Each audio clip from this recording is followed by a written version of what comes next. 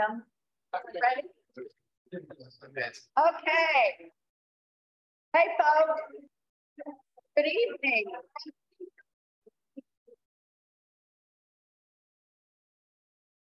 Glad to see so many of you here. I appreciate that. I like it when people get involved. So um, I would like to open this meeting and please stand for the pledge and then the invocation by Pastor Reed. I pledge allegiance to the flag of the United States of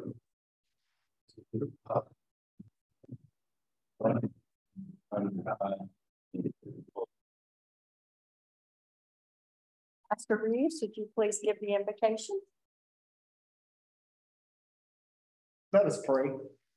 Heavenly Father, we're so grateful for another opportunity to come together and discuss issues and, and things that will affect our beautiful town here of Oakland. We seek your wisdom and we seek your guidance. We pray, Lord, that you would simply instill within us the decisions that need to be made and give us your divine insight. This we ask this evening as you continue to smile gracefully upon our beautiful town. We thank you in advance for your wisdom. In Jesus' name, amen. Amen. Thank you. Thank you, sir. That was very nice. All right, Elise. Mr. McMullen.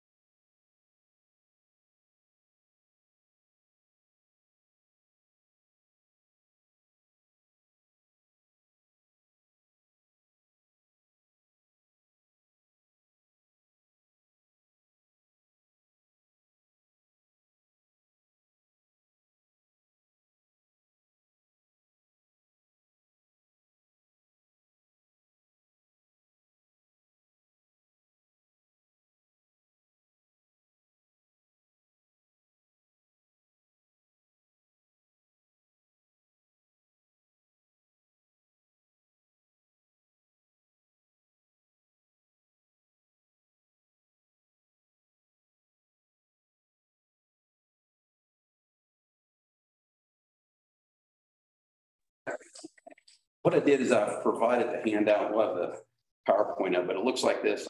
I brought the hard copy in. Um, so if you have any questions over this book or this one or anything in general, just stop me and, and ask me what Okay. Okay, we're good. Yeah, it's not auditor proof. I don't know what I did.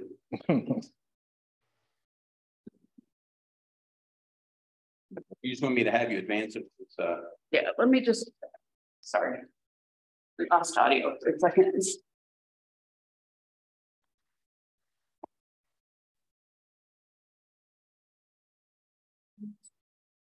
Yeah, well, you'll find, I'll just go over this page. On the very first page, of page two of the handouts, you can see we have our summary of our reports. There's five different reports embedded in the financial statements. Um, each one of them uh, pretty much two pages. There's one that's one page, but there's a lot of information. I hope you've read through it. If not, just go read it and see what we have to say as auditors and, and auditor speak, which is in the uh, in the report. So I'm going to give you a summary of it. So the bullet points here are the very first report you're going to find in the financial statements. And it's it's at the beginning. It's on page one and two of this book. And it's at the beginning because it's the most important report. This is where we're going to give you an opinion on the financial statements. And by that, I mean the numbers and the presentations and what the financial statement footnotes say about the town and their activity. Uh, we give it to you in this in this report. Uh, every entity that's audited in the United States gets a report that looks just like this. It's required by the AICPA. So any audit gets an audit report like this. And you can see the very top bullet point there is the result of the audit is an unmodified opinion on the financial statement. So in our opinion, we're telling you that you can rely on financial statements. We have no qualification of that opinion. We're not going to say you can rely on the financial statements except for this item. We're not telling you you can't rely on the financial statements. We're giving you a clean opinion is what it's called. Uh, it's the highest level of assurance we can give you as auditors. Uh, you can see that second bullet point there. We're not telling you that you're in good financial shape or bad financial shape when you get a clean opinion. What we're telling you is the information that follows one and two is a fair representation of what actually took place during the year. Uh, we do have to report the third bullet point there. Anytime there's a change in accounting principles, we have to report that to you. And no one uh, likes to talk or listen. I love to talk about it. No one likes to listen to discussions about accounting principles, but there was a change this year called fiduciary activities. Uh, if the town uh, participates in a fiduciary activity, that gets reported in a, two separate pages in the financials, and you do participate in a fiduciary activity. This had to do with impact fees you collect on behalf of the Orange County Public School System. You collect them for them, you know, and as you issue permits, you send that money to the district. So that's a change in the financial statements. You want more information? You can go to note 15 of the financials and read about it. Um, next year, we're going to have a big one. I'm just going to prime you now. It's called leases. It changes how all local governments report leases. So we're going to have, there's going to be some significant changes next year as well. So um, that, that's the reports on page one and two. Now, if you go to the back of the financials, starting on page 49, you're going to have several government um, type compliance reports. The first one on 4950 is uh, internal control and compliance report. Uh, this is a set of standards required by the federal government. They're federal government auditing standards. And I've been asked, why are we being audited under federal standards? And that's because the Florida Auditor General says you will. So we have to apply these standards to our audit of the town. And in this report, we're going to tell you any non-compliance that we find, this material that's significant, non-compliance, small non-compliance, large non-compliance, or internal control deficiencies that are a material weakness or a significant deficiency. And this is important so you know that uh, did the auditors find any weaknesses in our internal controls? Now, we don't do an internal control effectiveness study or anything like that. That's way more robust. What we're doing is while we're doing our work to achieve the objectives on page one and two, you know, can we issue an opinion on these financials if we know things that are deficiencies we reported to you in this report? But we do have two material weaknesses in internal control to report here. I'm going to go over those into the handout. Uh, there was one of those in the prior year, and there were no significant deficiencies this year where there was one in the prior. So there's two findings this year, two last year. That means there was one new one this year and one of last year's fell off as management corrected it. And I'll go over that when we go over the findings. Um, but no uh, non-compliance to report in this um, in this uh, government auditing standard report. On page 51, third bullet point here is going to be our compliance report with section 218415 of the Florida statutes, a very specific compliance requirement by the Auditor General and this has to do with your investment of public funds. We have to go look at how you're investing it and determine if it's in compliance with the Florida statutes. And it will be noted no non-compliance. Uh, page 52 53 is our management letter. Again, a lot of governments in other states don't get a management letter. Uh, Auditor General of the state of Florida says you'll have one. And so you have one on page 52 and 53. In this report, we have two compliance findings and recommendations to report. Now, these are compliance less than material. These aren't big non-compliance issues. These are smaller non-compliant issues. To report. And these are repeats from last year. We had no new findings in the management letter. So the items that are in the management letter are uncorrected findings from last year. And then the last report that you get is loose in the back of the financial statements. It doesn't have any pages on it. It's just separate. This is called the governance letter. This is required by the AICPA. Every entity audited in the United States gets one. And it's communication between me and the board for non-quantitative type items. You know, we talk a lot about significant deficiencies and, and whether the numbers are reliable or not, but this gives us an opportunity to tell you, are we having any disagreements with management? Are we having any problems getting the audit done? We talk a little bit about estimates in there. We talk a little bit about uh, what an audit is and what it isn't. Please read through that governance letter.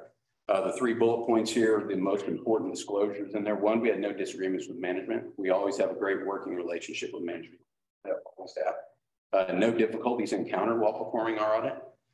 And the third bullet point is disclosure of material audit adjustments. That's a requirement by this governance letter. So any adjustments that we make to the records that are significant, we disclose to you in there. So you can see some of the adjustments that we're making because a lot of people think an auditor and an accountant are the same thing. It's not. An audit is a double check function, right? Um, we really, in a perfect world, we go in and do an audit, not make one adjustment. We would say, wow, these books are fairly presented as we were given them. Any, you know, any accounting that we're doing, we have to track it. And if we do enough accounting that it's almost like we're auditing our own work, then we have to report a finding. That's finding because if you go to each one of these reports, you'll see the word independent auditor in every one of them, right? We have to be independent, right? I can't audit my own work. My kids don't audit their own chores, that kind of a thing. The, um, so we have to be independent. And if we make enough material audit adjustments, we get close to, you know, shading that line between auditor and auditee, accountant and auditor kind of thing. So there are some uh, journal entries in there. I know that's also no fun to look at as journal entries, but if you want to look at them, they're in the back um, of that report. All right, that's the summary of our reports. Any questions on those reports? I can get to the findings uh, at the end. Okay, if we can advance one slide. Um, I'm going to go over these briefly. I know you've had the handouts. I'm going to go over them rather quickly. They're the same uh, graphs that I go over every year. I just eliminated two of them that seem to be, they didn't seem to be necessary in the big picture. Um, what this is, this is just a picture of the reporting entity, the town of Oakland is the circle. It's split into by governmental activities and business type activities. And you know, just in the name, you know what that means. Over here, business type, we have our enterprise fund, right? Water and sewer utility fund. Everything else on the governmental side, right? Charter schools over there, impact fees over there in the general. Just gives you an idea. It's a good roadmap to go to before you open up the financials because you're going to see these wording, this wording in there throughout. So um, on the next page, on page five, no one can see that on the screen, I know. Um, what I did is I took a snip from page 12 of the audited document, just to give you an idea of why I don't go over the financial. I mean, you can see there's four columns. There's, you know, 25 or 30 rows on this, just a ton of information on this. But the reason I wanted to put it on a slide, I want you to look at that third line from the bottom. I've highlighted it there. When someone asks you your level of reserves and your governmental activities, that's the number you're going to want to go. You don't want to go at the top. Look at that very top number on the right. Look at that cash number, $6.6 million. That's a not a fair representation of your unrestricted reserves, you know, because a lot of that's restricted. So you go to that third line from the bottom and you have that number. There's $1.2 million. So if someone were to ask you, um, uh, say at a, at a, at a meeting of um, county commissioners, let's say, and they wanted to know what your reserves were, that tell them at 930, 2021 for your governmental funds. Now you see that section right above it. Uh, right above that bottom highlighted number. If you ever want to know what's in those restricted accounts, there's a lot of them. They're all right there. They're in the bottom, like right in this area right here. So you can open up financials if you ever want to know where your restricted money was, because you have a lot of it and it kind of showed you where it's at. But I just kind of want to focus on financial health. That's what I do. I can go into in depth about anything, but I just want to focus on financial health at first. And so that's the number you look at, that 1.2 million. But you know, is that good or bad? Is the question at this point, right? I don't know. It's got a dollar sign in front of it, so I don't know if it's good or bad, right? But if you're, I always use Tampa as my example. They have, their general fund goes to a million dollars every day. So if you that was your reserves in Tampa, you wouldn't be in very good shape. You'd have a day of reserves and then you would be out. So we have to look at that number relative to the town itself. And what we do is we compare it to your expense. Dave Ramsey type number. This is your emergency reserve. We take your annual expenses and divide it into your reserves. And we come up with a graph that's on the very next page and it's up on the screen on page six of the handout. And the town of Oakland is the blue line. And that number we come up with is that far right number in the 2021 column, 16%. Right. So you have 16% of your annual expenses set aside in unrestricted reserves at the end of the year. That's two months. Right. So um, if you were to receive not a dollar from anywhere in the general fund, you could run for two months at the same level of service. To give you an idea of the how sufficient that is, Uh, there's a rule of thumb that this number should never be below fifteen, it's really sixteen percent. It should never be below two months. The GFOA, which is the Government Finance Officers Association, has set forth this number, setting this minimum. And you know, we've talked about this in the past because this is the best financial condition the town has been for some time. You know, you can tell that it's higher than it has been on any of the six years presented, but you can probably go back another five. And it's higher than that because something we as auditors have always been worried about, um, about the sufficiency of the reserves in the uh, governmental funds. So I'm happy it's above the two percent. Um, a lot of towns will have maybe a twenty-five percent target on this number. So you got to think, you know, in this inflationary environment, it's much higher than the CPI-U number that's reported, you know, the on uh, by the government because I, I actually subscribe to the city county um, cost index, and that's at about thirteen percent. This is the actual counties and cities and towns that are part of a cooperative, and they put in what they're paying for goods and services and track. We track that because that's what the auditor generally uses as a gauge for city inflation. And uh, that's at about thirteen percent. So twenty-five percent an attainable goal? Yeah, oh, yeah, yeah, absolutely. Now, it might not happen overnight, right? But yeah, it's absolutely is. You know, you build it into your budget. Instead, you know, you say, well, I'm gonna have revenues that are a little more than my expenditures each year until I get up to twenty-five percent. Um, and you know, but that, that's just a rule of thumb, kind of a target is, you know, the, the minimum is the, like the floor. It's like the earth when you're flying an airplane, right? That's the minimum you can fly is that you don't really want to fly right at ground level. You need to want to fly twenty-five percent, not at sixteen percent. Yes, So you're saying that the target for a lot of towns is twenty-five percent. yes. How come the peer group is like seventy-six point six one percent? Well, that's the important thing. I was going to get to the peer groups. What I do is I compare the town of Oakland to like-sized municipalities in the state of Florida. I stratify all of the municipality by population to set up your fund structure like we looked at earlier in your population. And then I, yeah, that's fourteen peers that you have, and then we just average them. But there's some cities that have two hundred percent, and that skews this average top. It really does. So we're not saying that that's where you want to be. That's just where your peers are at. You know, and I do have a handout that actually has individual data on your peers. And every time I'm asked that, it's usually two or three because it's a simple average. It's just I add them all up and divide it by 14, and that's the average for your peers. So it's really high. You know, there is a way you could get too high, right? If you get if you had 100%, someone, you know, a citizen could say, hey, we're being overtaxed. You don't need 100%. The general fund's not there to make money, distribute to shareholders, that kind of thing. You know, it's there to run operations, plan for emergencies, and to have a reserve on hand for when those emergencies arise, in my opinion. That's what I think of. It's not like an enterprise fund who's there to generate equity, but I, I would, I would take, you see these dotted lines that are in prior months, because we've always had to do these caveats in these. You know, well, this grant money's coming in next year, and oh, we had this CD, you know, that was in the general fund secured by a debt in the enterprise fund. So we always had to do these reconciliations just to get it up to six percent. You can see on the far left. So sixteen percent is a very positive number. I think you went up from four to sixteen percent. And I think, and you'll see when I'm done structurally, structurally, I think the town is there. I think it's built, and ready to go. So I think this is going to improve without a whole lot of um, any other type of work. It's just kind of like be patient, budget it into the uh, budget, and, and you'll be at, you know, you'll be at a, at a higher fund balance. I just in an inflationary position, you know, if you're at sixteen percent of your expenses and your expenses go up ten percent, even if you did nothing else, you'd be at six percent next year, right? Because ten percent would be wasted away to inflation. So the um, that's important to think about. The um, if we can advance the slide, one more slide.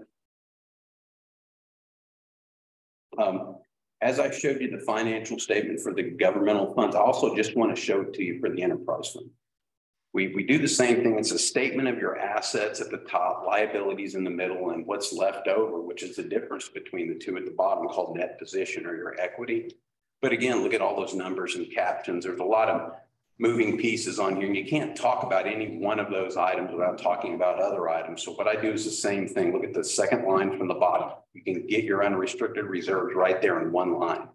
That says it all. That's every bit of your unrestricted assets less every liability you have payable from unrestricted, and that's the unrestricted balance in the enterprise funds. That's uh, one million forty-one thousand dollars. Again, is that good or bad? No one can even answer that, right? Unless we look at the level of activity in the enterprise fund. So we do that, we take a look at the enterprise fund. And we're gonna look at revenue here. The enterprise fund for twenty twenty-one billed a little over two million dollars in revenue. That's significant. I believe when I started auditing this town, it was billing maybe three hundred thousand dollars a year in water revenue. So two million, significant change. But what we do is we take that two million dollars as a proxy for the level of activity in the enterprise fund, divide it into that unrestricted reserve. And we get the number you can see here on page eight, 51%, six months. Right? We can just simplify that down to if your water and sewer customers stop paying you on 10-1, you could run until March 31st at the same level of service. So just that idea, so you can run for six months and level of service, that's a pretty strong number. And you can see you're right in line with your peers. Uh, these are going to oscillate around, of course. Um, as you see, you've oscillated around in these six months, but your, your reserves are fairly steady here. Now, I'm going to show you in a minute. Your enterprise fund is um, it's generating positive cash flow. It has a good operating profit, so it's poised to operate like we wanted to, to be able to generate enough cash flow to pay its operations and to pay a dividend to the general fund to transfer. Nothing wrong with transfers to the general fund. In fact, if, if we didn't have this fund structure, you wouldn't have to make a transfer, right? Because the general fund would have a water department and have a sewer department. So just this fact that the, the standards require, we chop it up. Enterprise fund over here and general fund over here. The way you equalize that is a transfer. See, I, I always look at it like a, a normal household, right? There's one provider may work in the house take care of the house, take care of the kids in the house and do those kind of things that don't generate money, but are still very important. And you get one that's outside of the house, works outside, gets paid a wage. Cash flow, that's the enterprise fund. This is the general fund. And you know, when they come home, transfers made, right? Transfer from one to the other in the bank account to pay. It happens to me a lot. Yeah, right. Yeah, I steer clear of myself. I could go on for a while, but yeah. Anyway, that's the way to look. I, I have a lot of uh, clients that are hesitant to make an interfund transfer because they think that that's something wrong with them. It's not. It's standard municipal finance. Is the enterprise fund runs at a cash positive cash flow, transfers the dividend to the general fund. Um, so I for the uh, enterprise fund, uh, six months of reserves. We can introduce one more. Um, on this page, we're just taking a quick look at the, the operations of the enterprise fund. And see, just take a look at the 21 column. There's a lot of information on there. There's your operating revenue at the top, a little over $2 million. It's, it's close to flat from last year. Um, you'd be surprised when we're doing an audit, you're in a growth situation like you are, we would expect revenue to go probably about as much as your number of customers went up, right? It didn't happen. Uh, your customers went up about 10%. Water revenue is essentially flat. And, and the reason being is consumption was down. Consumption per resident was lower than the prior year. So while your customers went up 10%, consumption per resident went down about seven. So the um, We actually want that. right, yeah, exactly. That's not Could be we had more rainfall and less irrigation and. Yeah, We sure had a lot of rain. Yeah, Uh, so this Water fund is working. pretty wet year, so. There was. right. That, that has a lot to do with it. The um, uh, operating expenses, you can see they're up nine percent. Like I say, there's going to be inflation built into everything you look at when it comes to expenses in this area. Now, you do know that in 20, um, 2021, the town commission had passed a, um, a, a, I believe it was a resolution stopping the CPI index on your water for 2021. It stopped it for one year uh, we haven't done any audit work for 2022, but that should be back in effect. That that gets increased by the CPIU. And it's important. I know people don't want to do it to their customers, but it's built into your expenses. They're going to be going up at that. You know, so you, you to maintain the ratio between revenue and expense, I'm gonna show it to you on the next page. You, you, they have to stay in sync. If not, you can get a situation where your operating expenses actually your revenue, and we're out of that situation where you can build reserves we're using reserves again at that point. But if you see the graph at the bottom, it's your it's your operating um, profit ratio, and you can see it's calculated here at the top, but it's at 16%. Uh, that means for every dollar of revenue that the enterprise fund bills, it has sixteen cents of every one of those dollars left over to go to pay debt service, make a transfer, do capital expansion, that kind of thing. And the most important with that number is the trend at the bottom. You can kind of see your trend there. Look at your peers. Your peers are right around flat. This is an enterprise fund. This is supposed to be a positive number.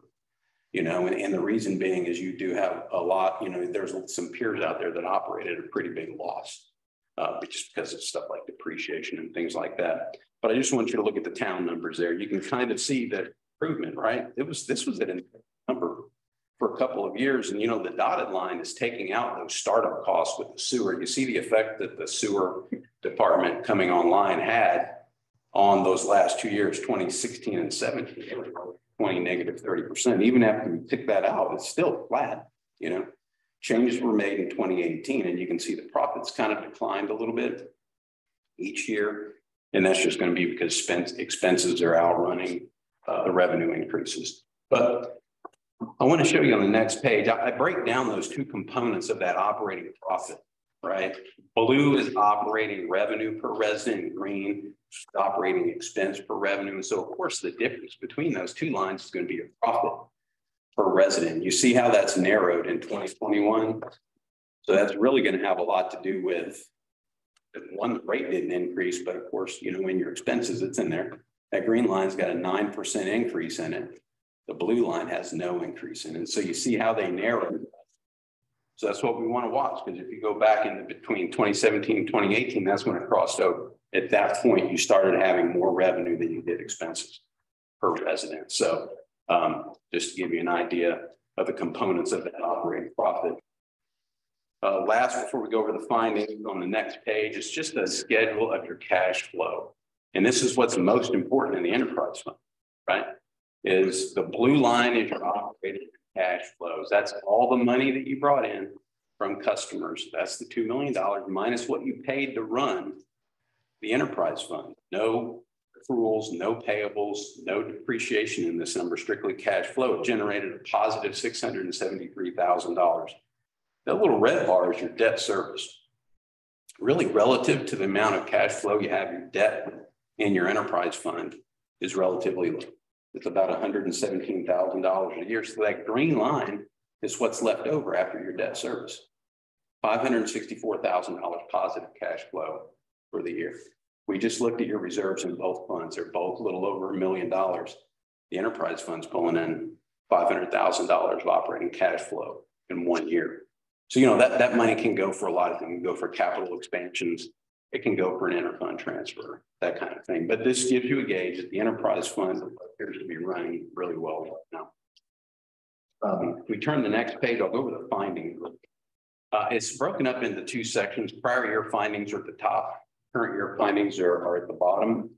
Uh, I want you to look at number 10-06. Right through there is the second one. This is the finding that's been on the books at 10 is 2010. So it's been on there for over 10 years. And if you remember last year, there was one that had been on there for 12 years. They got cleared last year. So was a big, this restricted cash monitoring has now been corrected. So good job um, on the town. Remember, I about all those restricted monies you have. Well, those have to be accounted. It's a lot of work. There's a lot of restricted money So uh, unless those were being accounted for properly, we had this finding that's being corrected. So good job. Um, finding 10-05 is still one where we are making too many large journal entries. And I do think this year um, the town has hired a consultant, a financial reporting officer type consultant. Uh, I think they came online and, and she's really good at what she does. I work with her at two other jobs and um, just came online a little bit late in the process to get done by June 30th. So we, we were we were both working through the process at the same time, not just the town, but the financial reporting consultant and us as auditors were working through this project. But as, as you were to look through this report here that has those audit adjustments in it, you'll see we made too many audit adjustments this year that were big. So finding 10.05 remains. Uh, there's two findings. These were those, remember those findings that I said were compliance related, just not material, smaller non-compliance. Those are the 2020-001 and 002. Uh, 001 has to do with capital asset inventory. Florida Administrative Code requires the town to inventory its capital assets. You know, that's your property, your plant, your equipment, um, every year. And that, so that needs to take place. That hasn't been done. And uh, then budgetary control. Um, the budget, after the smoke cleared and all of those adjustments I talked about were made, uh, the budget was over expended. Not by a lot, but any over expenditure of the budget, if your budgeted amount is less than what you actually spent on an accrual basis, um, that's a technically violation for statute. So that, that remains as well as twenty twenty 2 And, and the way there was real no way for the town this year to address that, because really to make an accurate budget amendment, your records need to be accurate, right? And you only have sixty days after the end of the year to make your budget amendment. So that's November 29th is the deadline. So you really have to have your books ready at or near the end of the year, or at least as close as possible to make an accurate budget amendment. Then you make a budget amendment and then you're good, right? So uh, this just happens when sometimes audit adjustments will push the expenditures over what if, you know, management thought they were at nine thirty. We finished the audit on June thirtieth of um, this year. So it was nine months from the end of the actual fiscal. So you see what I mean? We, we, we found this expenditure in June. You know, when, uh, if, the- if, if you had a chance to address it, would have been in November. I don't know what it was. The, um, in the current year recommendation has to do with bank reconciliations. Uh, this year, you know, I know a lot of the trouble with a lot of the accounting had to do with the accounting system. Uh, You know, if you have a bad system, it's not gonna operate properly. It's gonna be hard to run. And, uh, the town went to a new system this year and there's, I've seen them planned well. I've seen it planned by a lot of people. I've had entire town staff in on the planning and going and getting it ready to implement and software implementation just never. I don't think it's possible, but yeah, that's what happened. Um, there were some issues with the system setup and it being able to produce accurate bank reconciliation reports. So I know town was on top of it. They were in the middle of wrapping it up when we were doing our audit. But rather than just to be able to wait and let them go through the process and get it, get it right, we had to go ahead and finish the audit, get it done by the June 30 day. So that's where the new finding comes from. So when you look at this, there was one new finding this year and one dropped off.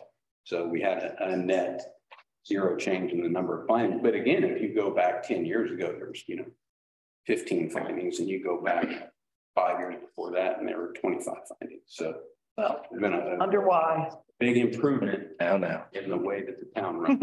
I just want to let you know, I was, I was here, you know, when I was here at least, uh, there's a huge improvement. So uh, that being said, I want to thank everyone, the town, uh, town commission, it's in our firm and the town made it easy on us to uh, you know, make everything available to us online. Uh, and to get back to us as soon as we have any audit questions. There's a thousand of them.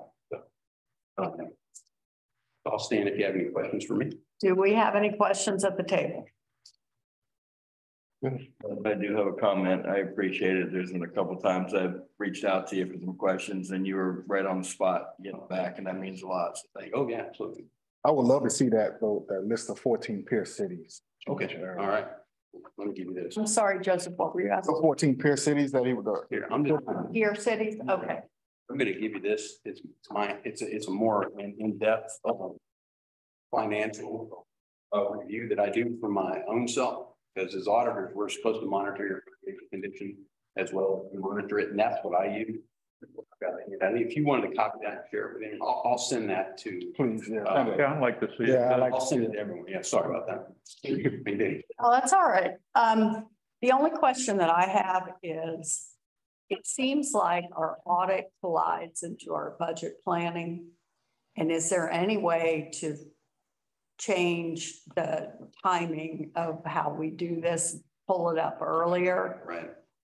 Yeah, um, I was just talking to Renee about that before I came up here, and they, they have, the there's a plan in place Okay, to get the year closed quicker. And I'll, I'll tell you the way we do our audits is just, we kind of just work with people when they're ready. You know, because we can never really plan ahead because you never know what's gonna happen, especially in this day of turnover. Finance director may leave and then who we did the audit, the, the audit we did first one year, maybe the last in the next year. So as soon as the town is ready, and I mean ready, when, when you're ready for an audit, that means you're, the books are done and you're subjecting us for review, not for us to do accounting. you know, for us to do the audit. So it is a really high level of preparedness. Ready for God, as soon as you are, we're gonna, we would like to jump on it because we don't like getting it done in June. So we're gonna work on us being ready, correct? yes, for, for two things. So we did do a, a budget amendment. Um, we didn't capture everything because there were some adjustments afterwards. And so we are already planning for the, uh, budget amendment for this year so that we can, you know, make sure things are adjusted. Um, we have up to sixty days past the, uh, end of the fiscal year. And I know Renee is working with our, uh, consultant that we have, um, as far as getting everything ready, uh, much earlier in the year so that we can, again, make sure we do a, a good job with the budget amendment as well as, Be pushed. as well as having everything ready to, to get the audit started earlier. Because it, it does, these numbers are integral to what we're doing when we start doing our budget planning also. So, um, it, it's gonna, it's gonna be behoove us to get this done earlier. Okay. Um, I need a motion on the table to accept the audit and then we can take any comments from the audience that are there.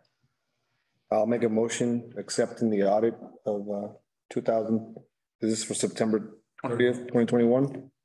I'll second it. Thank you, everybody, for all the hard work you put into this because it's not easy. And, you know, we can just kind of spread the wealth out, that would be great. Um, we have any comments or questions from the audience? If you do have a comment or a question, please come to the podium and tell us who you are. Okay, um, I'm going to bring it back to the table. All in favor? Aye. Aye.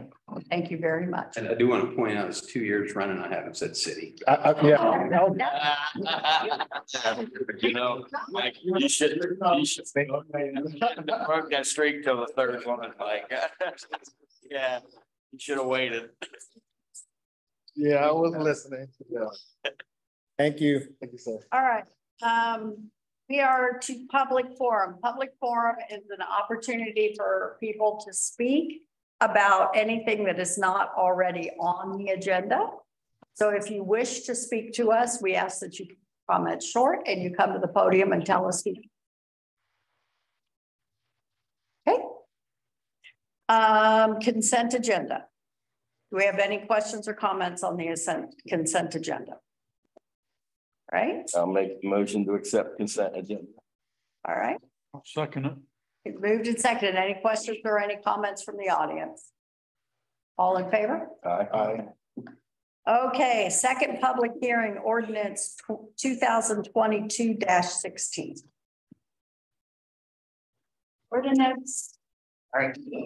Public hearing ordinance twenty twenty-two sixteen, an ordinance of the town of Oakland, Florida, changing the town's future land use plan map designation of its comprehensive plan from low density residential to commercial in the town of Oakland's comprehensive plan.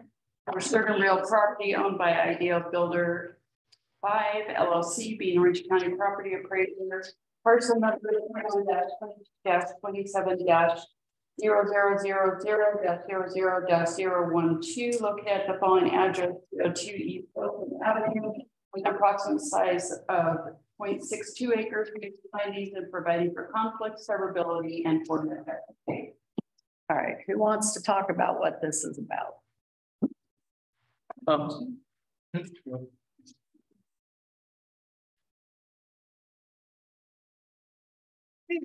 Hello, Uh, thank you, Mayor. Um, again, my name is Brad. This is Wade Trim and I'm with contracting town planner. And I just do a very short presentation overview. This is your second reading this evening for this, this item. Um, as was, what you have before you is the second reading to change the land use from the residential land use to commercial land use on the property at three oh two East Oakland Avenue. Uh, it's about, it's about a little bit over 0.6 acres. Um, as you know, it's already developed as a single family home that is there. And what the intent is to convert that to a, a, a re- a broker, real estate broker's office. Um, the area around there has a mix of commercial land uses already in place on the land use map as well as the institutional as well as residential. So it does fit in with that overall pattern. With that, I do want to just say it's in your staff report, but I do want to say it publicly as well, just so it is on the record. That we did have a code enforcement issue with this property about two weeks ago, where they were doing work without a permit. It was resolved very quickly. I will say we did, once we found out about it, there was an inspection done, it was verified. I did contact Ms. Lima, who is the representative. She then got with, um, Ms. Gibbons, planning and zoning, and everything has been resolved. And they understand they cannot do anything unless this gets approved, and then they go through all the proper permitting and reviews and approvals. So I do want the commission to know they did do what they needed to do to get that resolved quickly. We actually got it resolved within a day. It went very, very quickly. So I do want to just make sure that you are aware of that. Um, but in terms of that, other issues is, um, again, it's, it's consistent with the overall development in the area. As you know, your planning and zoning board did review this. They did recommend approval of this request. And as we said at the last meeting, the staff, we also recommend approval. I'll be happy to answer any questions you may have. Okay, we went through this pretty um thoroughly at our last meeting. Um, do we have any further questions at the table? Okay, um, I need a motion on the table and then I'll be able to open it up to the audience. Make a motion to approve ordinance two thousand twenty-two sixteen. Second it. Okay, it's been moved and seconded. Um, anyone who wishes to speak about this um agenda item, please come forward. Let us know your name and try and keep your con- comments brief. Reverend Reeves, we know who you are. Thank you. I just kind of want to say, who is that masked man? Got used to those past two years. Thank you, Mayor, for this opportunity and, and um, commissioners. Each and every one of you guys. Hopefully you can hear me real well. I'll do the best I can speaking through this mask. But I, I think if I share this little introduction, it it will best describe my position for this evening. Uh, I realize that there's three kinds of people in the world. There are those who make things happen. There are those who watch things happen. And there are those who ask, what happened? I feel as though I've been all three. And with this particular project, I don't have enough information to, you know, thoroughly give you a rebuttal against it because I don't know exactly what is going to happen. I've been in the town of Oakland for years and years. You know, as I come off Star Street, I make a right turn. I go up to a whole new development, beautiful homes are starting at half million dollars. Wonderful, that's growth. But one thing they have that I don't think I have is that they have the assurance that at least they know what will be built next to them. You know, it's not like, oh, well, I'm wondering, are they going to change, uh, uh, there'll be a purple home or, or a smaller home. No, they know with assurance that whatever is built with them will be consistent with what they currently have. That I don't have anymore. I don't know. I don't know exactly what's coming. I don't know exactly how it's going to impact my home value. And if we leave this to the kids, my children, I don't know. So how can you, you know, debate something when you really don't know? Because I'm trying to project the future. How will this either positively or negatively impact my residents? And this particular property butts up with our daycare and the church. And I'm, I'm right next to it. So if I turn to the left, going out in the driveway, I can see tractor supply. If I want anything, I can walk to it and pick up supplies. So now I feel as though that I'm getting into a position where maybe I have a chance to make some decisions that might impact my future, my children, or am I being squeezed to a point where you're gonna have to make a decision, Blake? What are you gonna do? Tractor supply here, big lakeside church coming there, you know, which is okay. But now I have this commercial, it could be something positive, but I don't know. The only thing I do know is that it's gonna be, it won't be consistent with the current home situation. So I'm not here to rain on anyone's parade as a, as a town mayor, commissioners. You guys have been very gracious to us as a church, as, as, as a daycare facility, there's things, and that's progress. And so my only biggest concern is that I don't want to be that third person. There's three kinds of people in the world. And I just don't know how this is going to impact me. And will I one day, will my, will my grandchildren or children inherit this home and they go, Dad, what happened? Is it commercial now? Do we pay commercial taxes in order to, to recoup something? The only thing I know is that, as I said, as I turn right on Oakland Avenue, those residents have something that I thought I had. And that was at least knowing whatever came next to me or whatever would be built next to me would be a home. It would be compatible. I don't have to know. So right now, I don't know. I don't know exactly how is this going to impact me. Will it force me to become commercial? I enjoy where I live. I love where I live. I have an actual backyard. You know, the dog can run. We can do that. They don't have that up there. I have that. I have space, I have, you know, mature oak trees. I love it.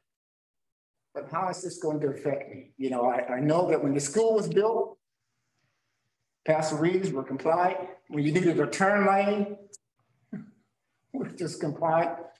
When you needed an easement for the water system, some property, we were compliant. And we just been giving and giving and giving. And that's all I'm saying is that do we have any input in the landscaping? Will there be a wall or something to divide this for? I just want to be sure that whatever they do, if I want to sell my property, it's not going to have a negative impact. So remember, there's only three kinds of people. And those who made things happen, those who watch things happen, and right now I feel like the one who's going, what happened? Um, well, I think we can answer a lot of your questions here. And um, I would turn it over to the Wade Trim gentleman, whose name I will learn one day. Brett, Brett, right. But I will say this before you move off, Joe, so we do recognize everything you have done to help us out as we've gone through it, and it's been phenomenal. So it is always appreciated. Yep, and I, I love your approach of you want to just understand and we all work together and, you know, we would never want to do anything that would impact your um, property negatively. Thank you, Mary. Yeah, yes, I think we, we have a lot that we can hopefully help with his concern. In my short time working with you all, I think one of the great tools that you have that will help his concerns is your design districts. That has, and this falls underneath that. So that will require the concern about the compatibility of how the building will be, you know, with the neighbors and things like that. That's governed by your design districts and the type of building it can be. It can't be a massive building. It's got to have the proper, you know, characteristics and architecture to fit in with the overall character of the town of Oakland. So it's not a, in other jurisdiction, jurisdictions where it may be a blank slate.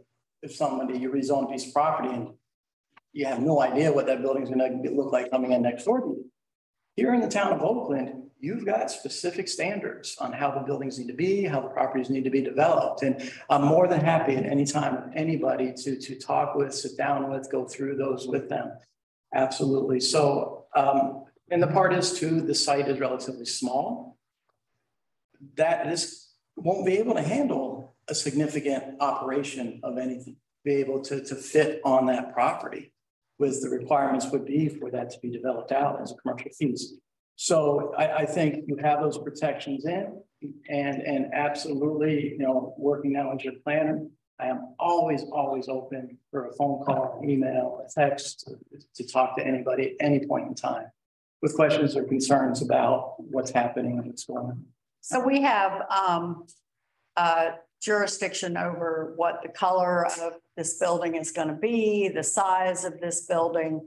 Um, planting is always something that we're very, very cognizant of.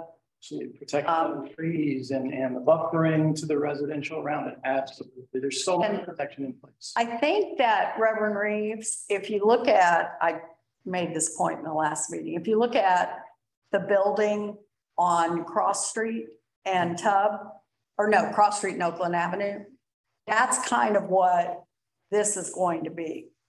Um, it's going to be a very small residential looking uh, office Right. with a very small parking, very low impact. You couldn't even really, when we turn on, you know, Sal and I both live on Cross Street, so, And I was worried.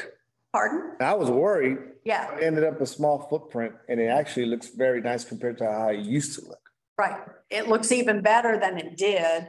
And it's very low impact to the surrounding um, residents. I live down the street, Sal lives down the street. Um, it really is, is not impactful at all. And that's what we're looking for with this. It's just going to be a small office with a few parking spaces and a sign that is compliant with our um, restrictions. So it's going to be, it's going to look like Oakland. Yes, ma'am. Would there be like uh, some type of privacy hedge or wall or something that would? Yeah, we, we can absolutely work with that and have that as part of the requirements that comes through, because we want to be sensitive to the interface with adjacent residential. Yes. properties Where people live. We don't want to have that impact. So, so a- absolutely, that's something. Will we have input? Absolutely. I mean, as I said, and I'll give you my card, um, please, it- and it's almost, your town manager's okay with this. Um, you know, please reach out to me. And Nancy lives, Yes, absolutely. Nancy lives close to it also. Store.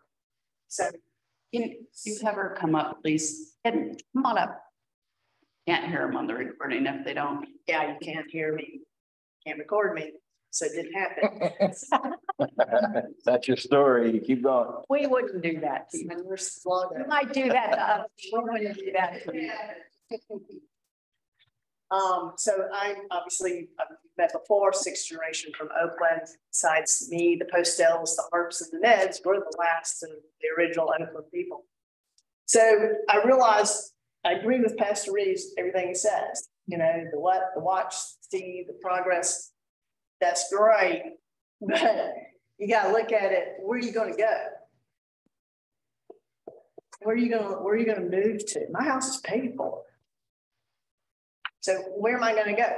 And so now you're gonna add, in, in, in addition to the mean hateful parents that come by every morning between seven forty and four, four o'clock, that flip you the finger, throw trash in your yard, block your driveways and call you Karen. Because they won't let me in my driveway. Now you're gonna add additional congestion to a small, very small area. Now, when I spoke with the individual a couple weeks ago, the original person who was in the purchase of the corner of three oh two um, Oakland Avenue, they were planning an auditorium. Like, where are you gonna put that on a 0.6 acre lot? With an already, what, 18, 1900 square foot house? So there's no room for that. There, and you know, unless they're planning to, to plow back that, their backyard, there's really no room for parking. And when you do, you're going to congest Star Star Street. You just, all of a sudden, there's just gonna be, and already I'm getting woken up at five twenty-one in the morning with a garbage dump in my backyard from Tractor Supply. There's just no consideration whatsoever to those of us that live with obviously the growth of Oakland. I get it, but there's, It's a, there's it- gotta be some kind of consideration for Oh, us. we, we are um, definitely telling you that it's going to be an office. It's going to have small amount of parking, a Okay. little bit of travel. It's not going to be, you know, a busy kind of business. But it is a balancing act that um, we're trying to do, you know, because th- your property abuts up to commercial development and you know, eh, that's all that can go on Highway fifty. I understand. And, So- I mean, I sold my mother's five acres to the town of Oakland so that there could be a charter school and a. Right. Gotta consider it. And so we're, we're trying to be considerate of a compart, of, of a building that is going to be in a half residential house. And I mean, and, you know, in all fairness, selling that five acres was, I was able to keep my mother in her home till she died in her own bed. Right. I didn't have to put her into a nursing home. We loved Aunt Trina. Aunt Trina, Aunt Trina, woo. Something. Yeah, she was, but in a good way. So, yeah, yeah, she was, a she was a good mom. She was Hitler growing up, but she was, she was sweet in her older age. So, but anyway, she would, she would be, I don't know what she would be right now, seeing what's going on. You know, I think she'd be mixed. I think she'd be happy that there's growth. You know, growing up, I raised with five hundred and thirty-five people in town of Oakland. I know. You know, if you weren't my uncle, cousin, or grandparent. Well, I was, uh, you know, I was at the Presbyterian Church this weekend with a Ross. Who's very pleased with how things have gone here. So, you know, it just, it's, it's, it's, it's hard. Oh, sure it is. Absolutely. You know, So- I, I get it, you know. I, I totally, I totally understand and I appreciate it from all areas. But you have to understand where the preacher and I come, we're getting squeezed out and we're at the age that, you know, where do you go? You go to the vet? They put me down? Well, I wouldn't say that this particular, this Uh, particular piece of, um,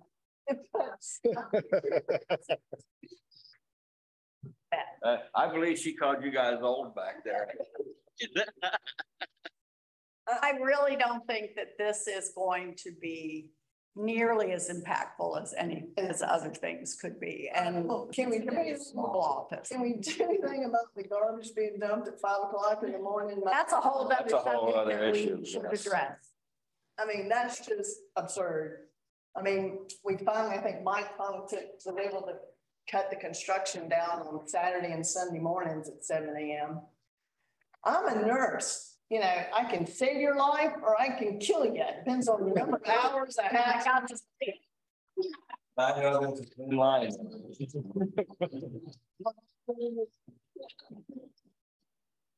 from that one. Um, you, you've got a good point for us to consider with the tractors. Yeah, we will, we'll look in, And I work for a plastic surgeon, so you don't have any problems. I think that was a compliment, Alan. Yeah. We got you. We got you. We understand and we'll work on the garbage thing. We, we, it's just, it's just the, people need, we appreciate the growth, but people need to be considerate of those that are already there. Right. Is, is basically the bottom line of, of the whole thing. And we're trying to do that with this piece of um the agenda. We really are. It's gonna be a small, you know, office with Again, very little traffic. Run, it could highly benefit me and Pastor Reeves. Yeah, and we'll look at buffering. So it's just, in the meantime, if we could keep the idiots at bay. Let us know how that, To do. so we've been trying hard on that. Figure out how to do that, let us know. Propofol? that. Okay, we're done. All right. Thank you. A quick question. Yes. Listening to you and hearing what they said, it sounds like you've really already decided. Is that correct? Well, this is the second reading. Um, we went through this in the last meeting at two in my, in detail. Okay. So Simple. Have you already decided what is going there? I can't speak for anybody but myself. Has, I- so it has not been voted on, No, It's been voted on once. It gets voted on twice. and that's tonight. Yes. I was just trying to. I, I'm not living anywhere close to you, but I appreciate what you're doing.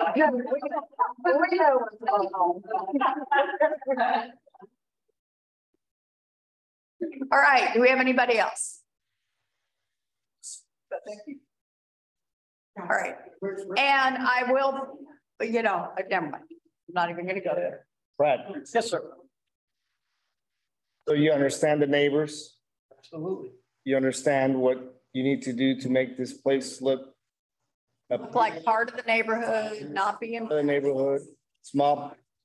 And I can let the commission know and the mayor know, we've already had this discussion with the applicant and with the owners. Um, we have, they, they are not doing anything. Folks, folks, Said they thought they were going to. do. They- hang on, hang on, stop, uh-huh. stop, Right, Yes, ma'am. stop. Folks, could you please one conversation at a time and listen to what he has to say? Thank you. Yes, we, we have already communicated that to the applicant and the owner to tell them how critical and important it is to do things that's completely consistent and compliant with the town and its character and its protection of its residents. So yeah, absolutely. And, and they, they, they are aware of that. They are not going to, they, and I just to address the, the first issue of the, uh, Mhm. event center. That's not happening. That is not at all on the table at all. So Okay. don't have, as you said, Mayor, can't, will not happen, cannot happen. Is, And as anything that will happen will be fully consistent. with compliance with the town. is Mike Morrissey part of the? Yes, sir. Makeover? Yeah, what, and what, and actually, in what your code also requires, this commercial development, it'll have to go in front of your appearance review board as well. Yes. So there's a lot of oversight. ARB Moving board. Forward, Yes. yes, your ARB, to make sure it does do just what you said, sir. So um, just for those folks who are here for whatever issue you're here for, um, we have an appearance review board that looks at these things. We have a planning and zoning board that looks at these things. We have a designer who approves what is going in here so that it, that it looks and feels like the town of Oakland.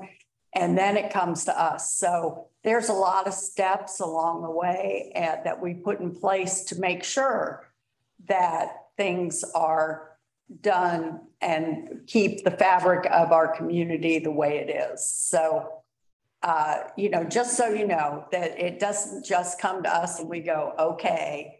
It's, it's got a lot of approval hoops and a lot of things that are put in place to keep things looking in right for the town. So from a property standpoint, from neighbors or being a neighbor to, I worry what you worry, Joe, uh, Pastor and, and and your neighbor, Nancy. Nancy. I worry about that. So I know that having Mike Morrissey and all the team, all the, all the filters that we have, we're gonna have something that we're all gonna be proud of, that's gonna bring up your property values in the end and privacy. So I, I wanna be vigilant about it. You guys wanna be vigilant about it, so. Just wanna make sure that those are the steps and I would. And please make sure that folks have your card, so. that Absolutely, I you can will. get a hold of What I will do as well. And talk to them individually. Once starts, when they submit. Um, I will absolutely reach out to them as the neighbors, let them know if they would like to get the plans, we can send them to them. Because it's all open. I want everybody to be transparent to see what's happening. So do we. What we're reviewing and. and get The site improvements, Hundred percent. parking, everything, so it's gonna be improved, okay? I just want to add, if anyone has any concern, if you go to the minutes of the last meeting, you will see how all of us ran around the room and kind of went at, not went after, but talked to them, asked them so many different questions. Because we're all concerned that when we do something like this, we need to make sure, God even asked the question, what was the reason why someone wanted to vote against it?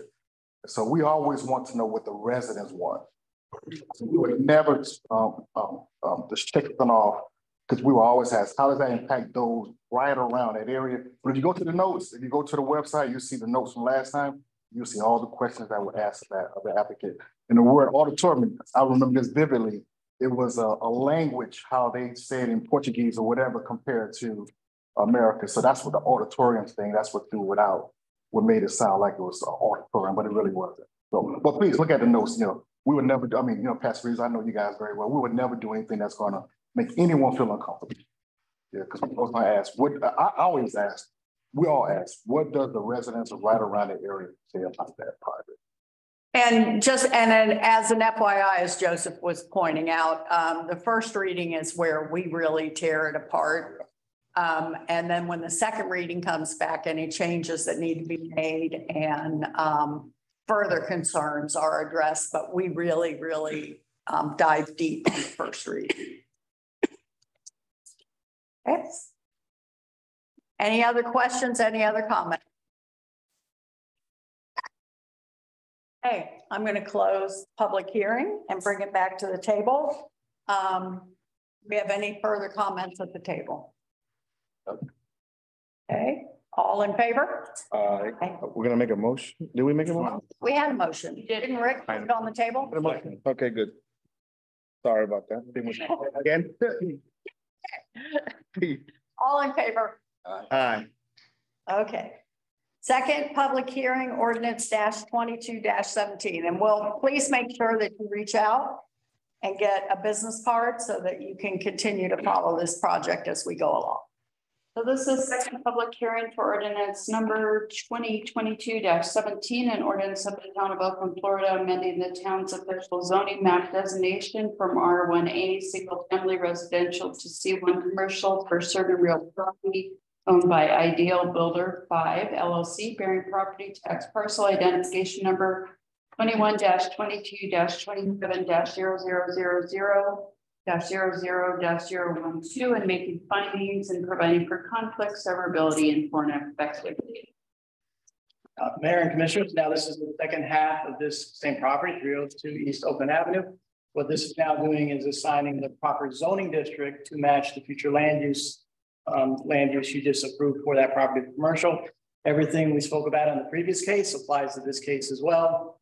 Um, this now just finishes out the process to get it to the point where now things can move forward. But again, all the protections that we talked about fully apply.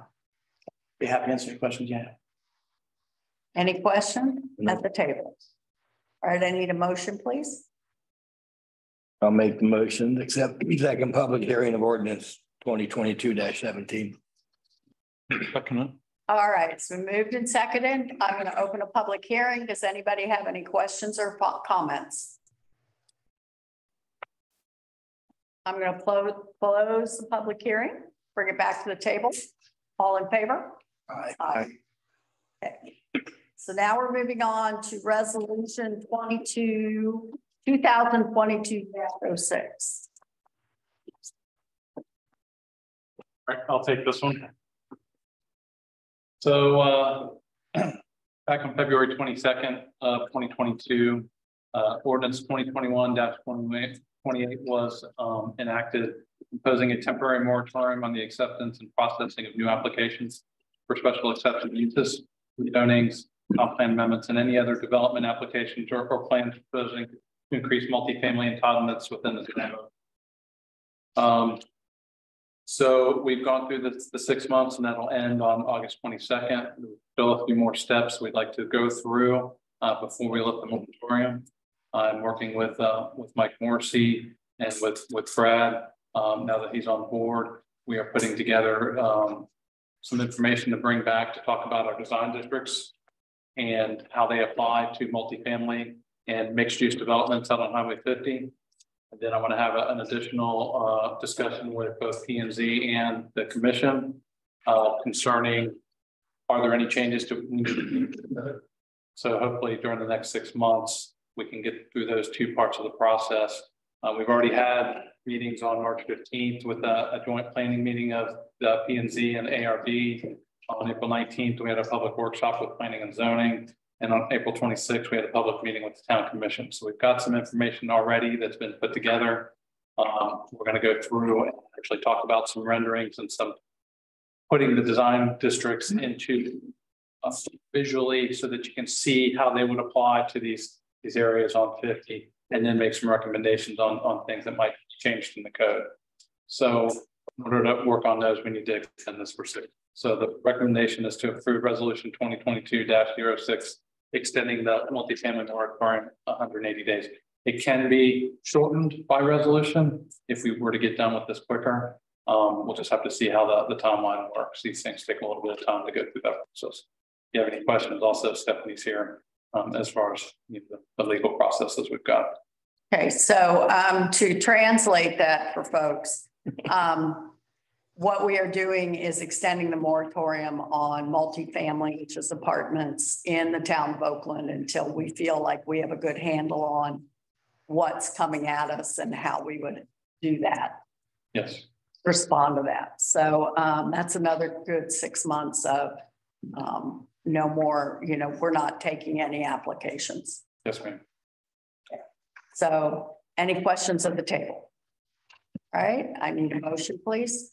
I'll make a motion to approve resolution two thousand twenty-two 6 to extend the moratorium for hundred and eighty days. I'll second it. Okay, it's moved and seconded. Does anybody in the audience have any questions or comments? Okay, bring it back to the table. All in favor? Aye. Aye. All right, now we're moving on to Florida um, League of Cities Health Insurance Presentation and Coverage Agreement.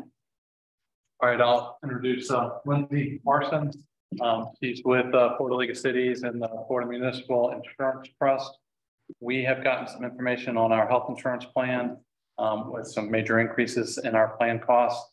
We are looking at some different options and the option I'd like to recommend is moving to the Florida League of Cities. So uh, Lindsay will go through her presentation. Good evening, council, uh, mayor and council members. Uh, it's uh, nice to be here and thank you for having me tonight. Uh, again, my name is Lindsay Larson. I'm with the Florida League of Cities and I am the group health account executive on behalf of the Florida Municipal Insurance Trust. So um, with that being said, I want to uh, commend your city manager and your HR director um, on going out, doing their due diligence, on trying to find what is going to be best for the city. Uh, town, town, I'm sorry. Uh, You know better, right? I go with, deal with all of them. you should feel honored. It took her the second one to get. I must have been sleeping on them. Uh, so again, um, we are just gonna go over kind of what the FMIT is a little bit, uh, a little bit of background of it, and then dive into the plans on what we think would be best for your uh, town staff. All right, so the Florida Municipal Insurance Trust, it is a non-assessable pooled risk uh, arrangement, meaning there aren't going to be any surprises. So when we come in with your premium, it is going to be just that. There are no extra costs. We aren't throughout the year, we're not going to be like, oh, well, you know, you had a larger claim, we need to charge you more money. We're not going to do that. So you are fully insured uh, coming into the trust.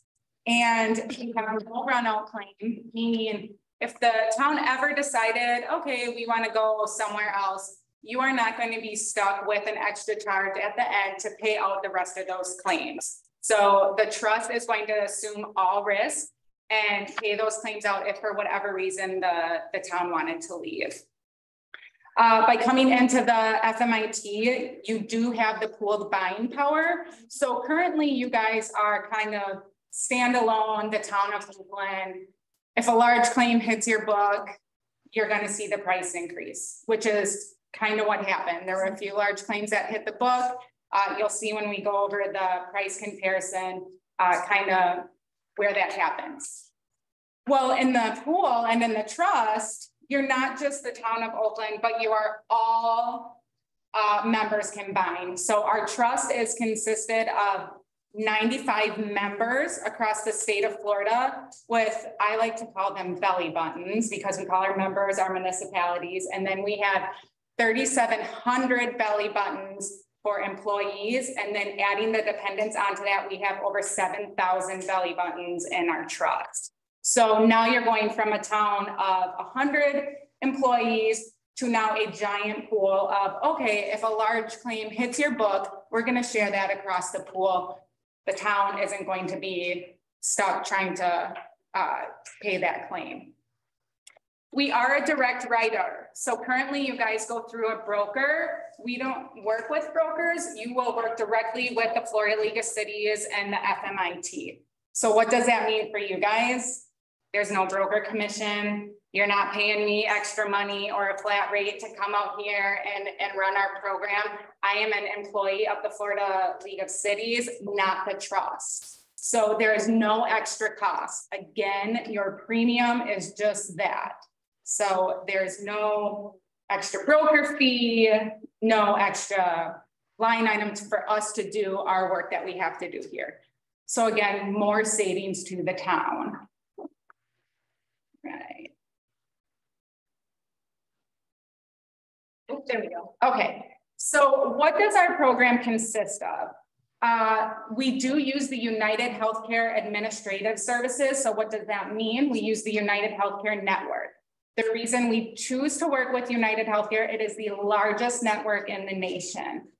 So another benefit coming to your staff is not only will they have all in-network benefits, but out-of-network benefits. So it's not just the state of Florida. So if you were in on vacation in Colorado and you got sick and needed to go to an urgent care, you can find network doctor there and you do in-network benefit. If you, You do not need a referral to see any PCP or a specialist. So if you needed to go in and see a cardiologist, you can go directly to the cardiologist. Yes, so there is no referral needed. Again, you have the pooled access to national network provider discounts. So this is huge for you guys. Because again, town of Oakland is now being recognized as a, as basically a thirty-five hundred person group instead of just the town of Oakland. So when it comes to discounting, when we go to hospitals or we go to providers, you're gonna get the best discount that United has. Uh, of, course, it's gonna lessen the impact of claims. So again, when you hit a large claim, it's gonna be across the pool. It's not going to be just on the town of Oakland. So there is that sharing power of claims throughout the trust. And then, of course, our bread and butter being the Florida League of Cities and the Florida Municipal Insurance Trust is the municipality in mind. Again, being the Florida League of Cities, we are your association, so we want to do what's going to be best for your employees.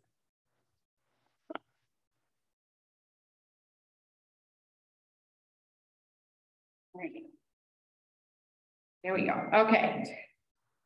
So what really sets us apart, all of these uh, services that I am going to go over are free to the, the town. So if you become a member of the Florida Municipal Insurance Trust under our group health program, the city is going to have free access to an EAP program or an employee assistance program. So that is unlimited calls into our EAP program, along with three free in-person visits per issue per year. So again, that's at no extra cost to the city or their employees.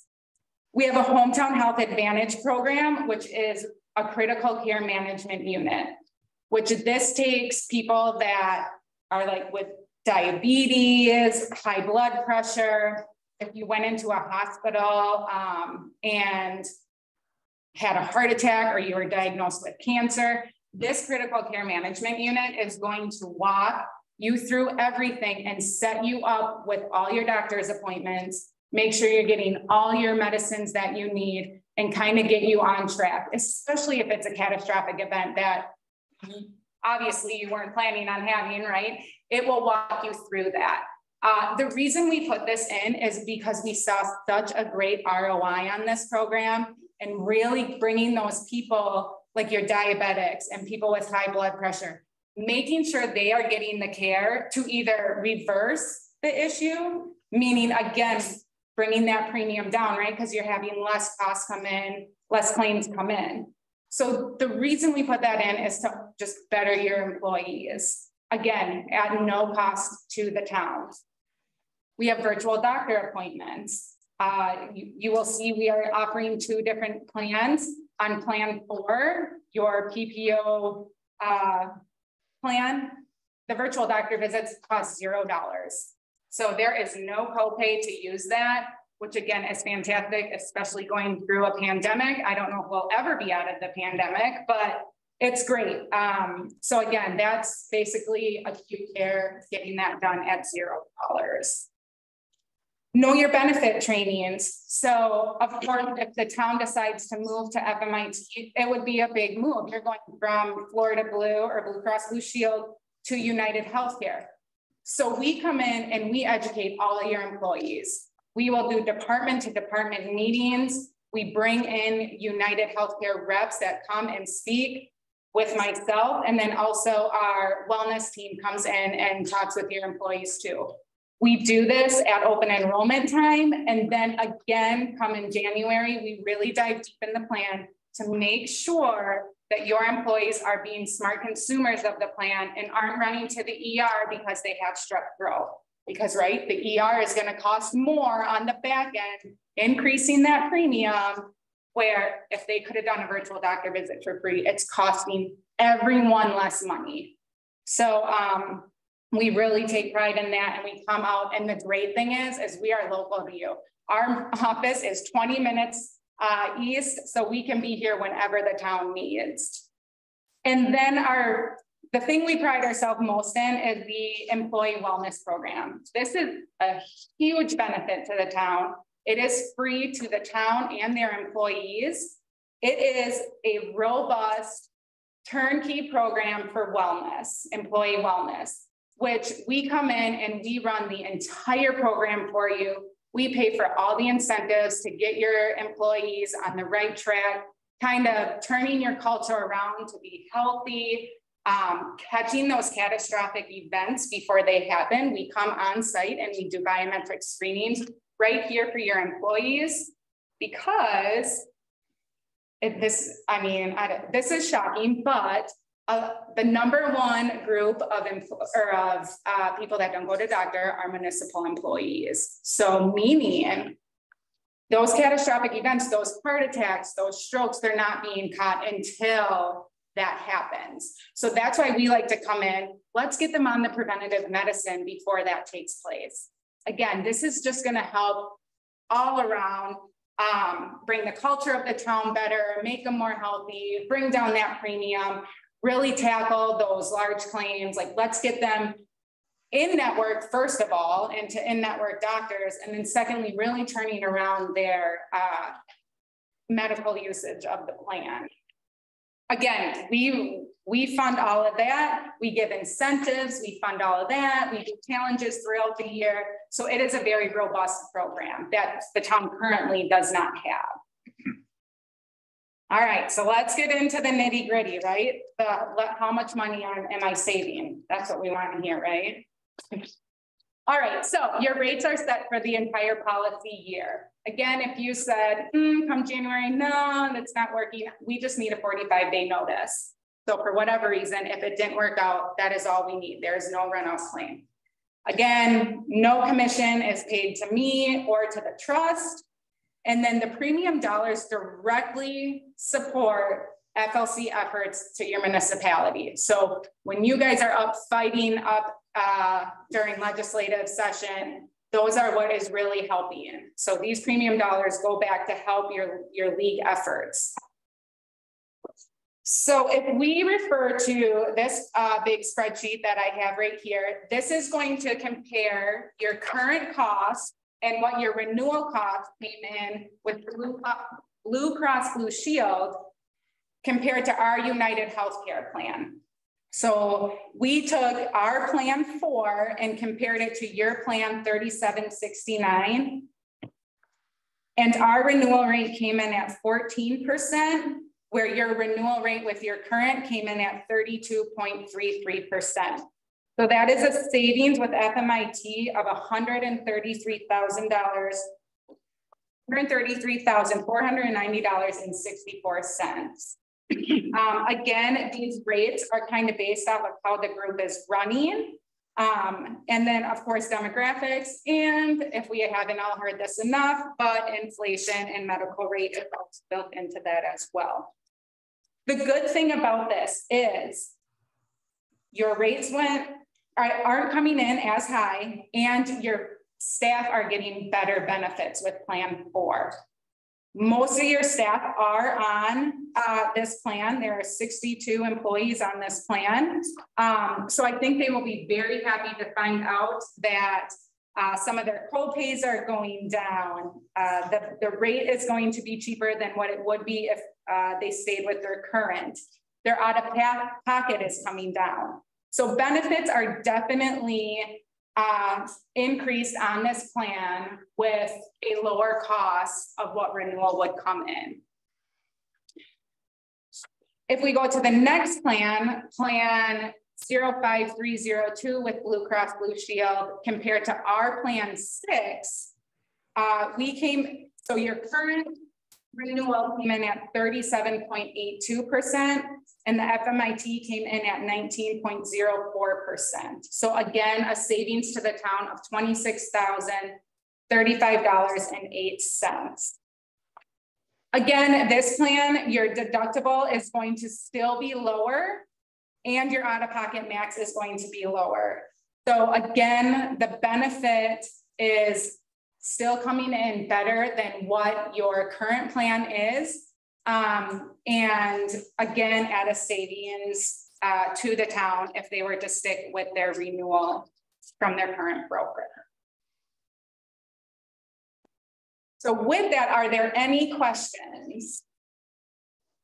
Um, no, I defer to Joseph with any questions that he might have. No, know, this is something we've been trying to do for a long time. It just been hard for the town to switch. Yeah. Yeah, More power in numbers. yeah, yeah. I know Steve's been working on it for a long time. Trying to find the right time to make the switch. Well, you know more about this than we do. Yeah. So I tell Jenny when I see her tomorrow that we, we're gonna switch. But it's, it's, it's great. And plus they give back premiums to the, to the local leagues. The more people are involved with it, money comes back to the local leagues too to do other programs. So it's a win-win all the way around. Okay. That's a great point. So yes, if, if you are enrolled in anything with the FMIT, a stipend does go back to your regional league. So that's a great point as well. So, so just uh, under full disclosure, we did get some additional, um, from our current broker, some additional stuff today. Um, that's slightly lower than this, but it also has, the, the plan design isn't as good as what the plan designs are here. Um, I see a lot of, um, positive that we uh, are getting from moving to the League of Cities, both from how close they are to the extra benefits that they have and being in the larger pool instead of being in a pool on our own. So even with slightly, the rates are slightly lower than what you're seeing here for the, the, uh, what, what they're offering with United. I, I, it- again, the plan design's got some differences to it that aren't as good as these plan designs. You know, I think about um strength in numbers and I also think about no profit. You know, who we're using now, they're making a profit and do we really want to plow that money back to our But place? I see a lot of utility being in a bigger pool, um, as we move forward, um, with the town, so. Yeah, I and think this, this covers, and we're gonna go from three plans to two, and these are the two plans that we're gonna move forward. All I need is, is an approval, um. Uh, from the commission, basically, to, uh, allow me to sign the coverage agreement with the Florida Municipal Insurance Trust. and if Joseph, you know, is more the expert than any of us at the table, elected officials, you know, I I do appreciate your input. These health programs pay for it. I mean, the extra health programs, I mean, that's, you, you can't, you can't get that outside at these rates here. So just, you know, you know, and I, there were parts about people coming out and, and talking to the, to the staff and getting them involved with these health programs. That's, that's priceless. Yeah, so, and that- and that's a big piece, that's a big piece. We're already setting up meetings for next week uh with the department heads and the different departments to start getting this information out to the to the employees, so. Um, and I know they've already had some questions about doctors being in the network and stuff, and I think we've been able to answer most of those questions Yep, so they've far. all been in network. Yeah, I heard, I what you told me was that, you know, it was minuscule, the amount of doctors. Yeah, so far, we haven't, I think there were only a couple that might have not been in the network, but um, we're, we're definitely uh, trying to be responsive to the, to the uh, employees and making sure. Um, so, um, with that, I, I, and we've had, things have been good with the Florida League of Cities since we moved our um, retirement over to them also. Awesome. Very responsive and uh, Rodney's been great, so uh, uh, the, the service has been good with, with the League of Cities. Yeah, the Florida League of Cities is the top league of cities in the country. Of the forty-nine league of cities, Florida, Florida League of Cities is the top. Good. I mean, they, they do a very good job. Yeah, so all that they're managing, you know, and they work with counties too. So they doesn't work with cities and towns and villages. They work with counties too. So they have several counties um, that's part of their network. Good. Anybody else have any questions at the table? All right now. All right, um, I'll take a motion, please. You want a motion, right? Yeah, I just, I need the authority to, uh, to sign the coverage agreement with the FMIT. Okay, so I need a motion, please. I'll make a motion to approve the town manager signed an agreement with FLC MIT um, Insurance. I'll second it. Okay, it's been moved and seconded. Any questions or comments from the audience? Okay, bring it back to the table. All in favor? Aye. Aye. Okay, thank you very much. Thank you. I think this is a good thing for our employees. Excellent, excellent. Fine. Supposed to be that week. Yes, yes, yes, yeah, we got it, yeah, I'm leaving tomorrow.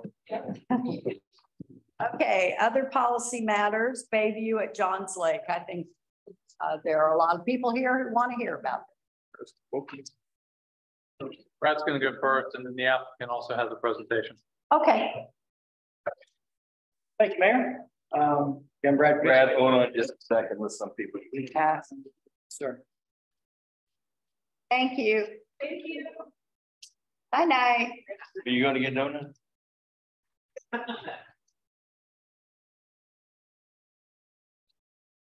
Okey dokey. All right. And now your name is Brad. I'm Brad. Brad, I'm serving as your contracted town planner. this evening. Um, as I said, what we have before you this evening is the preliminary subdivision plan for the proposed Bayview and Johns Lake uh, subdivision.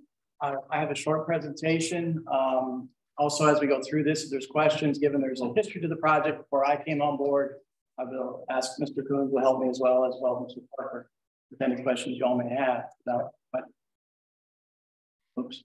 So the project, the location, um, as you all know, is at the end of Remington Road, at the very south end there. And that's where the star is on, that's the location.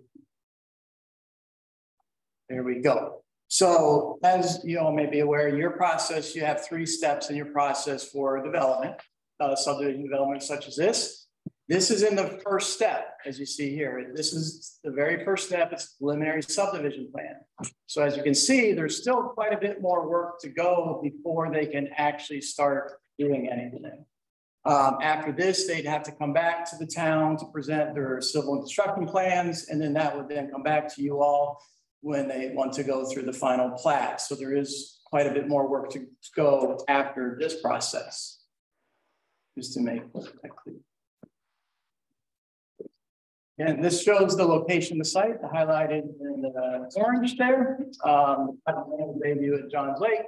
The applicant is venue development. Um, that property is about seven acres and it's a vacant piece of property.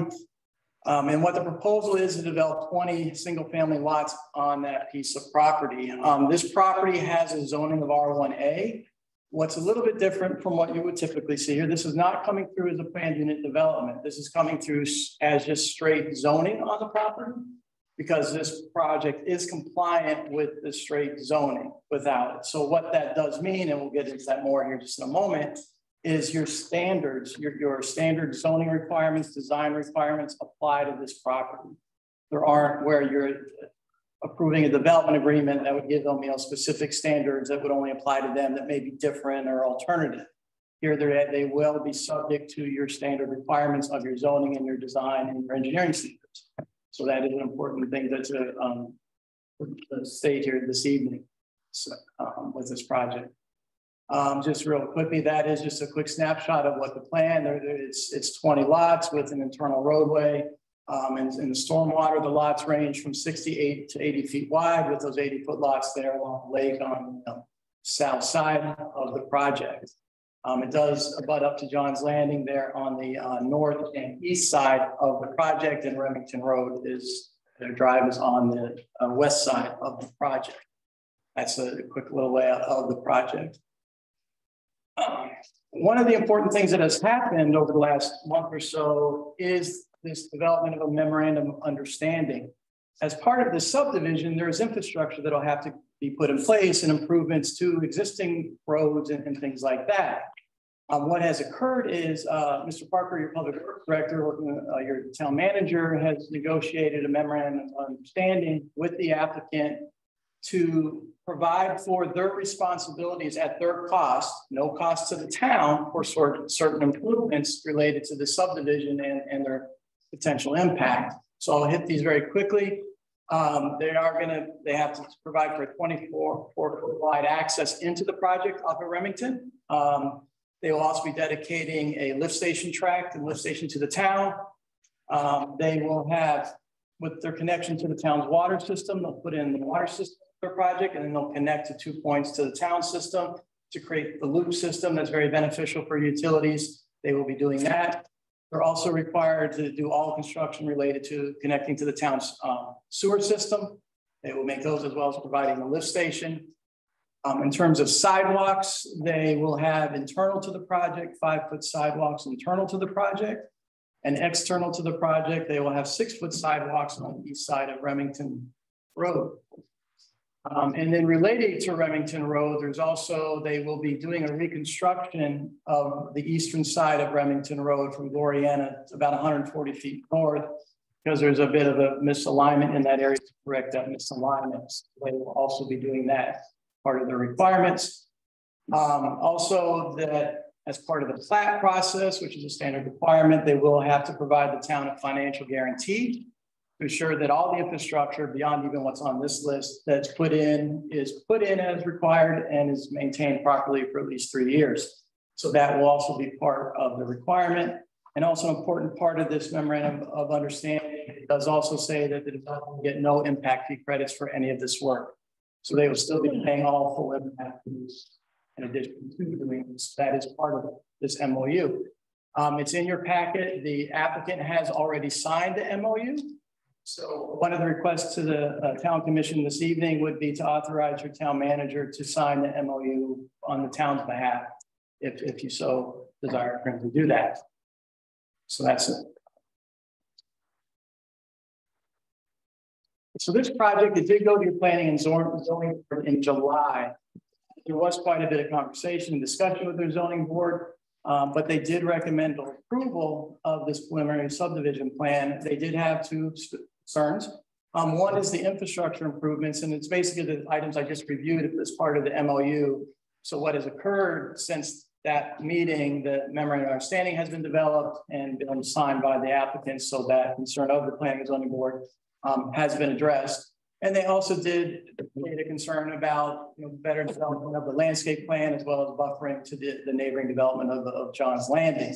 So those are the concerns, but they did recommend approval to the town commission of this preliminary subdivision plan. So what happened after that? So after the planning and zoning board meeting, um, the applicant did submit revised plans based on comments that were received from the planning and zoning board. Um, we did receive those the town on August 4th for those. And we did also send those out to Mike Morrissey, your design consultant, because he was part of the process earlier on in the process to make sure his concerns or comments were being addressed. Um, we did receive comments back from Mr. Morris, Morrissey that he did not his comments were not fully addressed. And did raise some concerns and his concerns related to similar things that we have with the planning and zoning. It was uh, with the landscape, the tree protection replacement, as well as the, the buffer um, with John's Landing. So those are some concerns, those concerns that he raised. We did forward those concerns to the applicant um, to make them aware of that. And the applicant has now prepared a presentation for you this evening, which I believe will talk about some of those issues. Um, back up very quick. Mr. Morris was also concerned um, that the architecture of the homes have not been approved yet. So he doesn't want uh, the town commitment. What you'll see this evening are the actual architecture, what the homes will be. Again, they are subject to your standard design requirements within your town because it's a straight zoning. And Mr. Morris does not approve those designs yet for this project. Um, he also raised a few concerns about some conceptual plans that we've seen that I believe will be in the presentation of the um, the lot layouts for the homes and how those are laid out, and that may need to be adjusted. So those are some concerns that Mr. Morrissey had. Uh, one of the things just I want to say to the town commission this evening is uh, from your staff perspective, um, those issues will be worked out as we go through those next steps through the construction um, plan review. Part of that, there's also more engineering that needs to occur. The engineering is only partly done at this point because it is a preliminary plan, so it's not a problem. That's still needs to be fleshed out further. So this will go through further review, and as it goes through that further review, if issues occur that push it out of what you all are have approved generally and outside of your code requirements and your design standard requirements, it's going to have to come back to you all with that. It has to be compliant with your code. If it's not, it has to come back to you all um, to consider that change. So we do want to make that clear to you all this evening, um, moving forward. We also just want to say, you know, some of the information they will show you tonight, we don't want. Again, it's up to you all as the board to decide this or not, but we don't think you should accept that as you're approving the, the house images they may show you or the buffering issues, because we need to, those haven't been reviewed, those haven't been approved yet by your staff.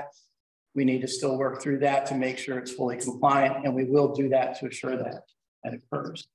Um, but I did want to make that's an important point. But but I do believe it will be able to meet our code work with that, go through through it. Um, so what oops, I'm sorry. What our recommendation is, um, is basically what I said again, is uh, the site plan in the building and the buffering and all those pieces, what we're asking you as part of your condition that you are recognizing that it still needs to go forward through the formal, you know, construction design process. There's a problem, non-compliance, it will definitely come back to you all as the town commission.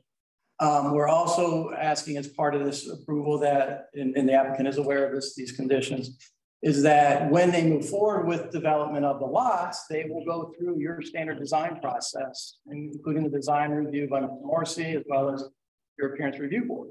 So that, that process will be in place for this project as it gets built out um, um, for the property. And the last point, again, just reiterating, I think this I've had this a few times, I thought it was very important, is that, you know, we, as a staff, we can't authorize any variances or deviations or differences to what your code requires them to do. So anything that would trigger that will have to come back and, and get the proper review by most likely your planning and zoning board, as well as you all as the town commission. So that, so we do recommend approval with those understandings, those recommendations. Um, if you do approve this this evening, then the next step would be we would then go out, you know, have the developer come back in with his instruction. Uh, we all we are fully aware of the concerns of the Johns um, neighborhood adjacent here. And as I said earlier, I also have that commitment to this as well, is to work with them together with the developer to come up with a solution that not only meets your code, but most likely will go beyond what your code requires to, to get a win-win solution for both sides. Of the town. So we, we are aware of that and that will be part of as this moves forward. So that is my short presentation. Um, any questions at this point, I'll do my best to answer them. If I can't, ask the town manager to help me. Any questions at the table? Got a question on the, they got three lakefront lots here and I'm looking at the, uh, the pretty pictures here and I see, um, houses on each side there.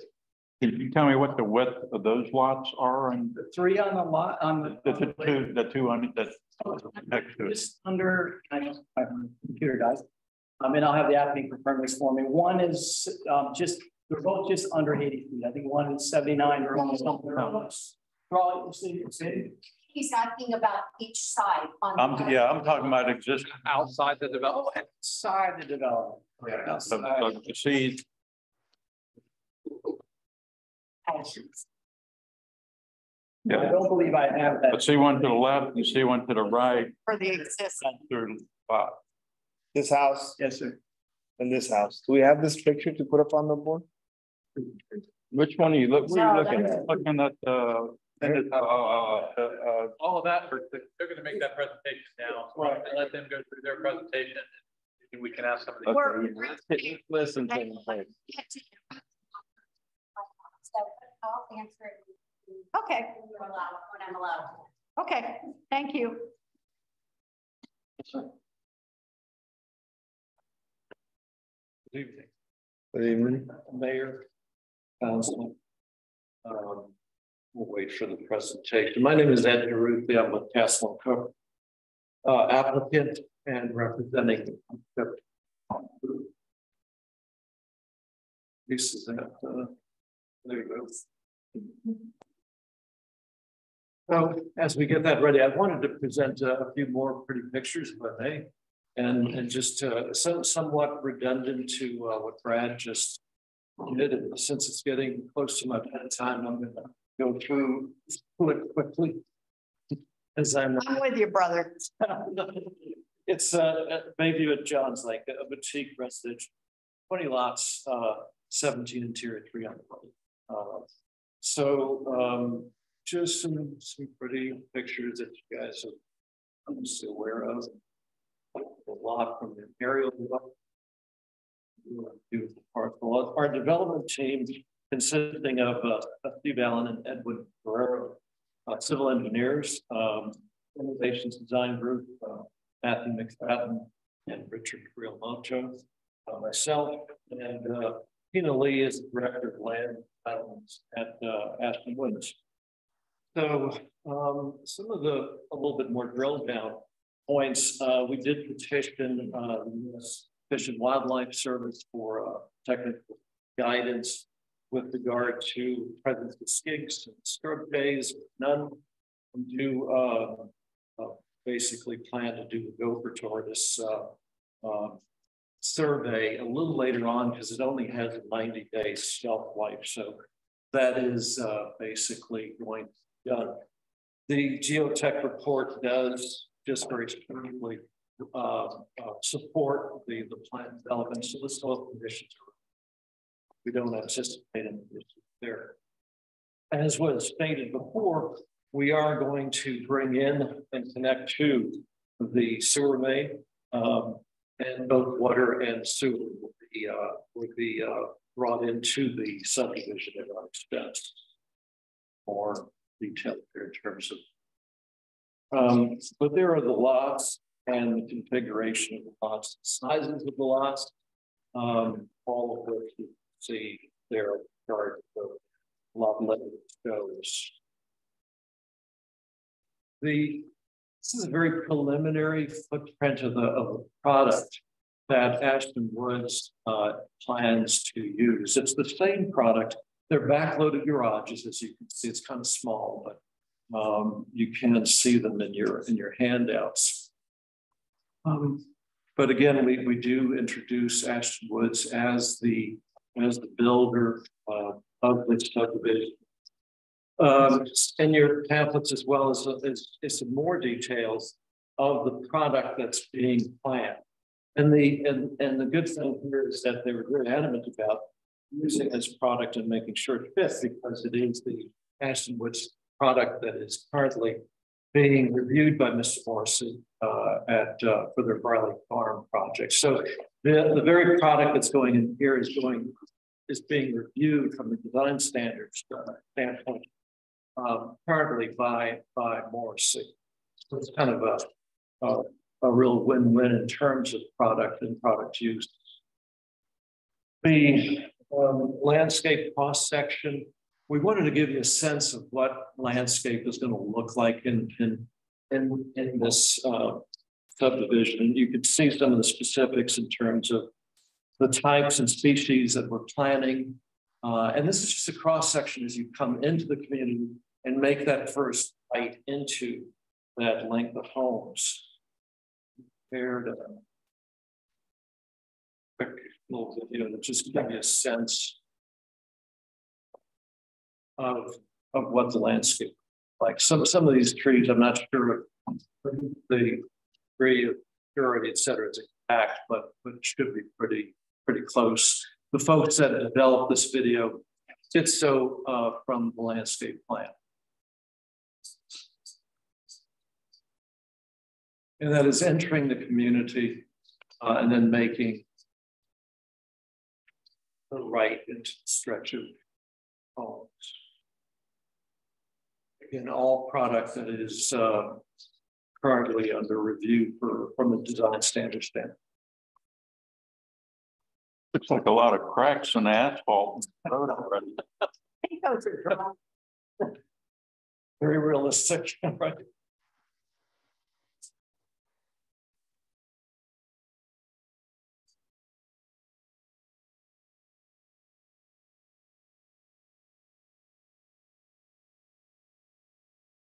But I, I, I thought I would uh, that with you so that you can see some of the.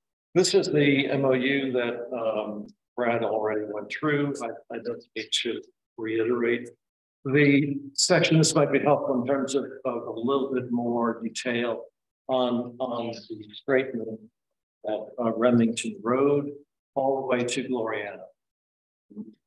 doing as, as agreed.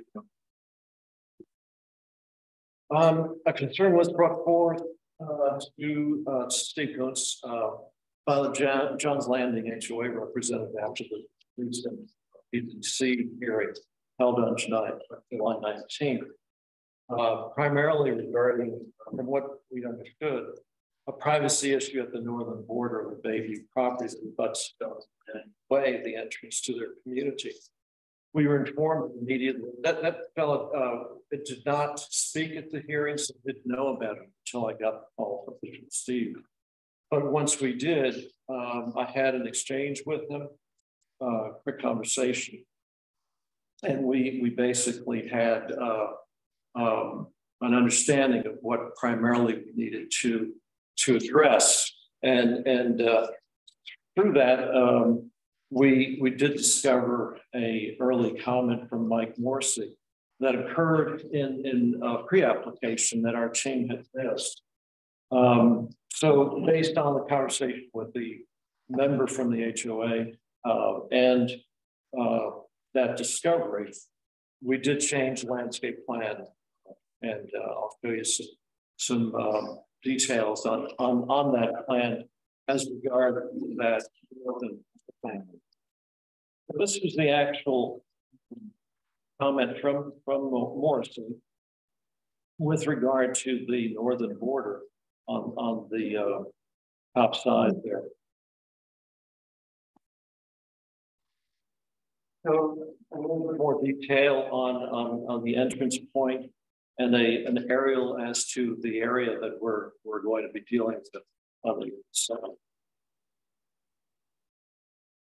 And basically the cross section of northern boundary, southern parcel of Butts John's Landing. We're, we're doing a pretty robust planting there of viburnum and, uh, and smokes, uh, et cetera. I'll show you, you know, the, the species and um, planting uh, plants, the landscape plan for that buffer a little bit more drill down information in terms of the calipers and the size of trees, et cetera, if you're you'd like to take a, a, a closer look. But um, um hang on, yes. can we have one conversation in the room at a time, please? Okay. Thank Sorry. you. The, the visual here is uh, something we had our landscape architects prepare so that uh, you can see the uh, buffer uh, that's planned. And this is a visual from John's Landing Way, looking back to, to the property subject. This is a rendering of larger sections of, of that. I took this picture in my community of a, of a pretty mature viburnum bush that's been there a while The amount of, you know, uh, creates over time. So pretty effective, I would think. This just shows distances from from um, uh, the entry point to John's Landing in terms of, uh, of the um, amount of space there is between the boundary of the northern uh, side of the of the parcel and the road as well as the back ends of those properties on the entrance. We did get the letter um, from John's Landing HOA on Tuesday, August 2nd, uh, requesting a boundary wall fence between the communities, uh, which you know basically was a um, something late developing. So we, we bring it forth for discussion outline of the boundary wall that uh, accompanied the letter. I just superimpose the site plan as it as it relates to the three parcels to to the so we can get kind of a, a sense of, of how that interacts.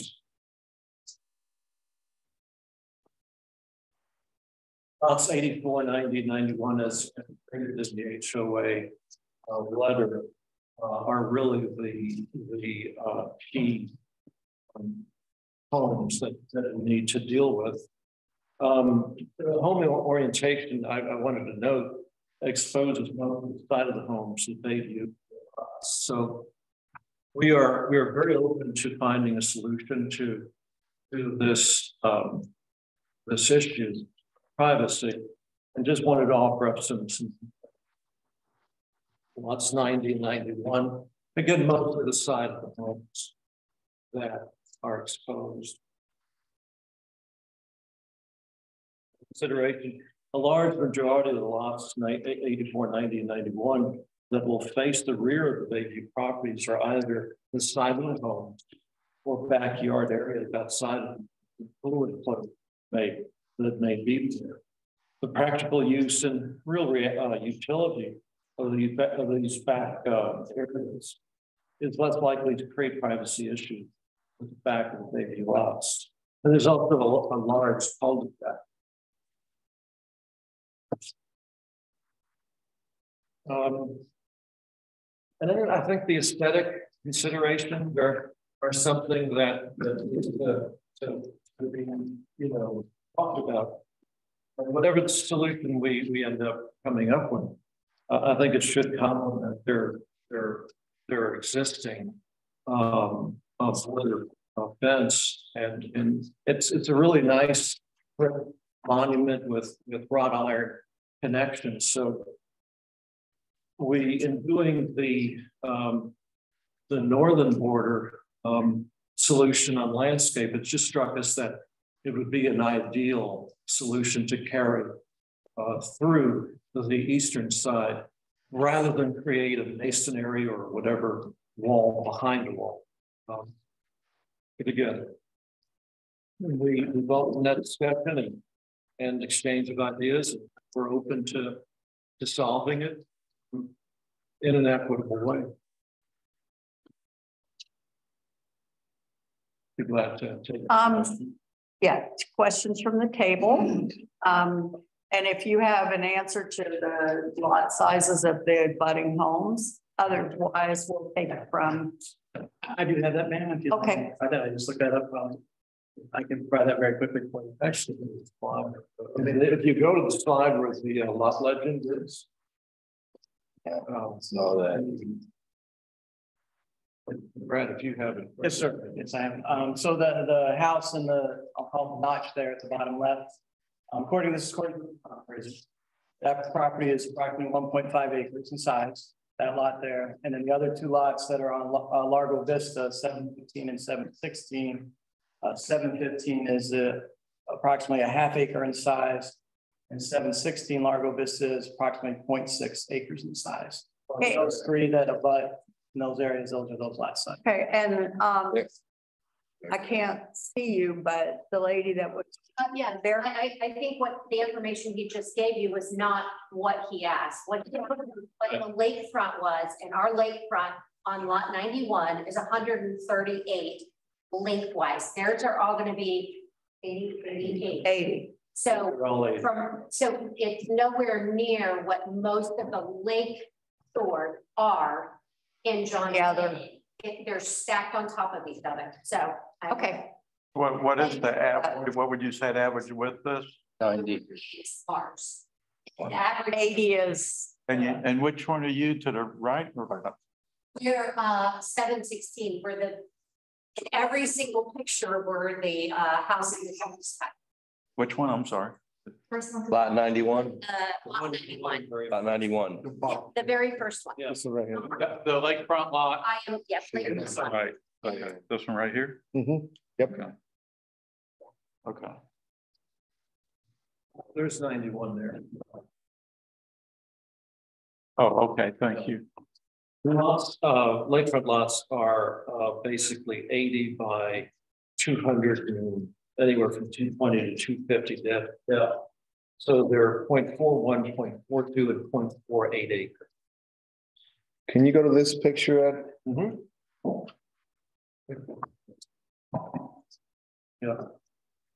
So lot number ninety-one What is the, not the depth, but the width, one thirty-eight, that's your home? One, yeah, tell me what page, what, which one you're on. That one. Yeah, that one. All right, I'm gonna look at I your, don't remember. this is my house right here, What's the width on the back to the lake? hundred and thirty, Eight, one thirty-eight. Okay. Lakefront. lakefront. Mhm. So the rest of the homes lakefront going east. in Tom's Landing, what is the average lakefront? Well, we studied that, uh, in, in evaluating, um, comparable pricing. I don't have that information, but there was, uh, one lot, uh, in, in, on the lakefront that's vacant. Um, that was very comparable in size. I, I don't have the specific information. The remaining was. And I can get the plat for you. I don't have that with me tonight, but that's something that needs to be considered because AVP.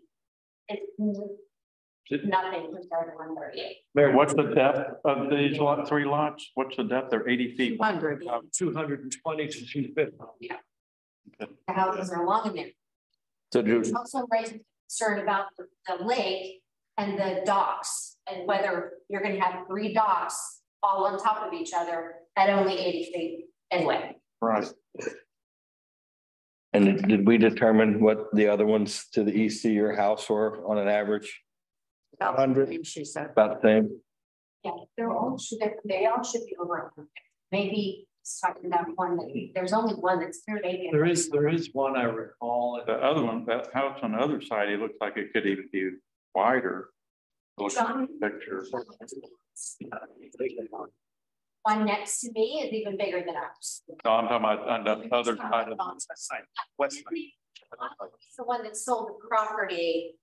And John he's got a huge sir. lakefront, but he owned all of that. So John he- that's the builder. Right, the, the west side. Right. And he owned the property. Uh, mm, previously. Yeah, he owned all of the property, even John Landing. Yes, he's, he and his brother, Yeah, He's working on road. yeah. and they build houses in, um, Oakland Park. J and J, I think it's J and J Construction. Yes, that's. So did you want to have the community speak? Yes, I will, but once we're done here. Okay. Rick, do you have all the information you need? Yeah. Sal? Uh, I have a few more questions. Okay, So. This slide.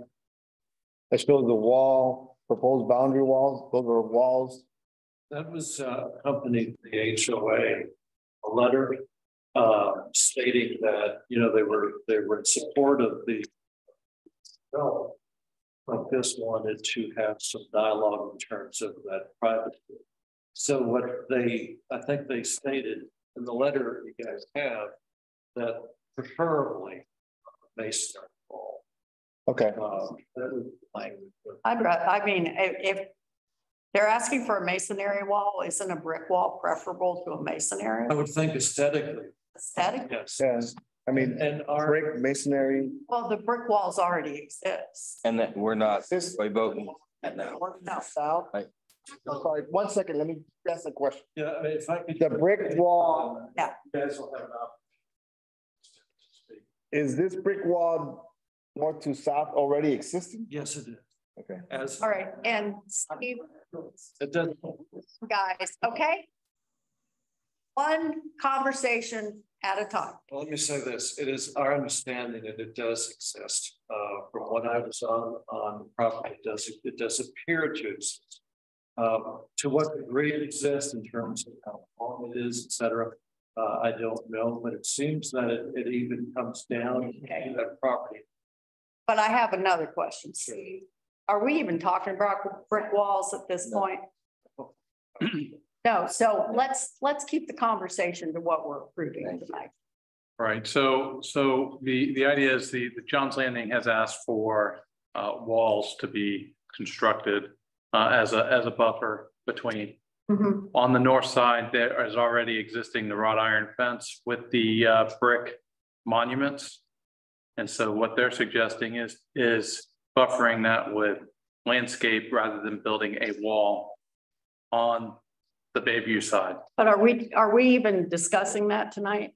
Well, it's, it's one of the considerations that John's Landing wanted to make sure uh, was discussed as, as part of, at least as part of this moving forward. Yes, uh, and, and further, I wanted to bring it forth and perhaps I did do need to, but, but I wanted to, to kind of be, have full disclosure in that regard so that we, we don't necessarily, um, you know, that, that we're, we're, we're armed with as much information as possible to, to, to discuss it and see how we can solve it.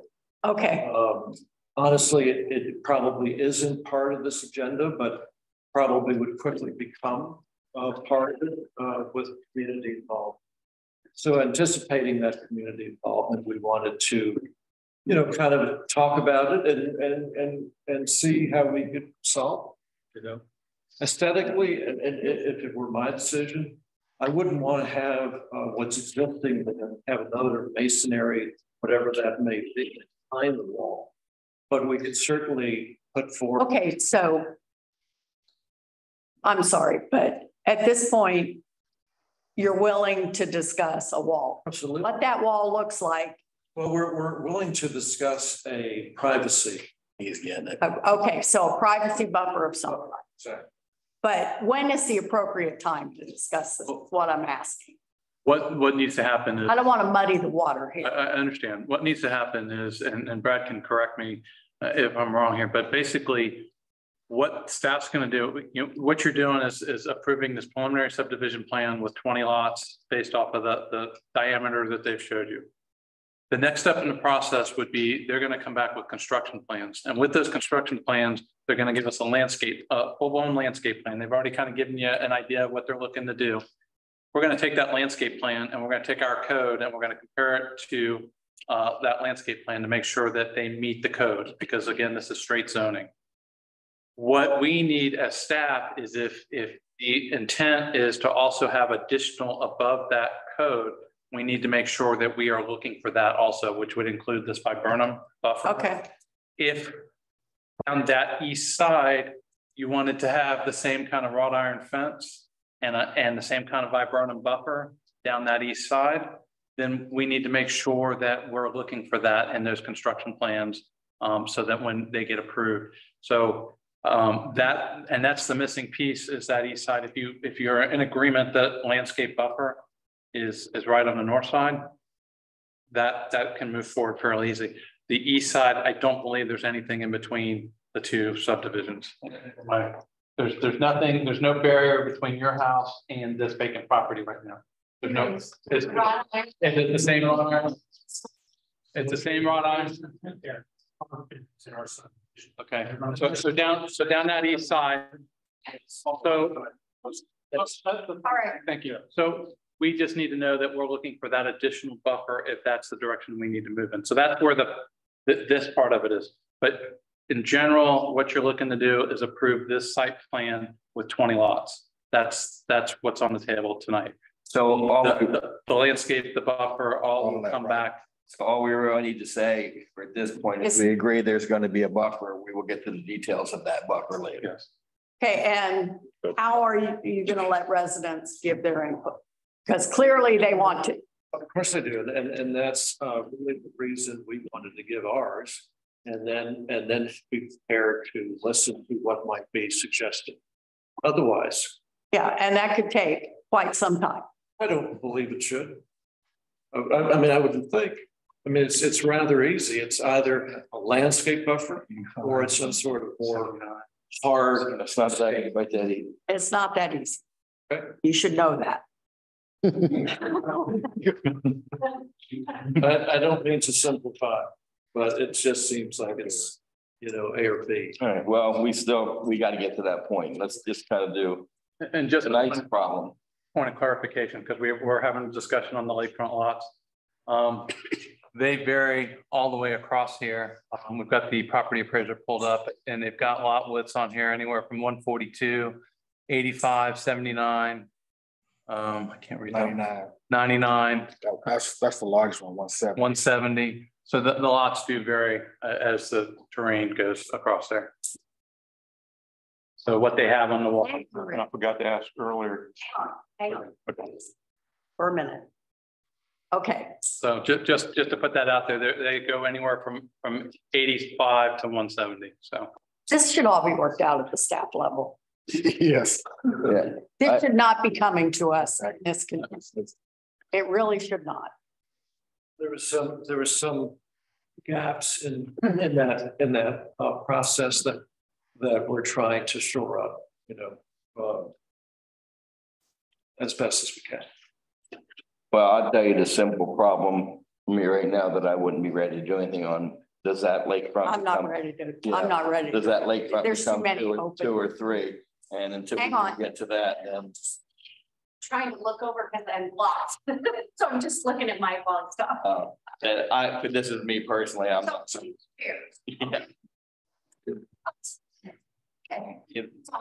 Either way, I'm, I'm not comfortable at this point Me either. with the discrepancy between Lake Box, whether that should be three or whether you need somehow to cut that down to two. I think this is Around something and that- that's something that you guys should work on before we. I think, and I think that once you've worked on it, I think that that's something that we should be discussing in our one-on-ones.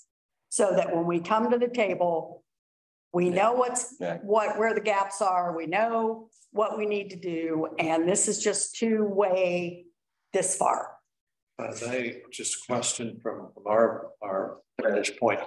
Um, we are compliant from, from the code sense and the design, I mean, Right. unsanctioned is yet to be, to be determined. But, and, and planning and zoning, uh, commissioners approved. And, and, uh, staff recommended approval after a great deal of, of exchange and information. Um, vetting. So the issue of, of lots on the lake would be, I'm not sure I understand. So just, just to to clarify.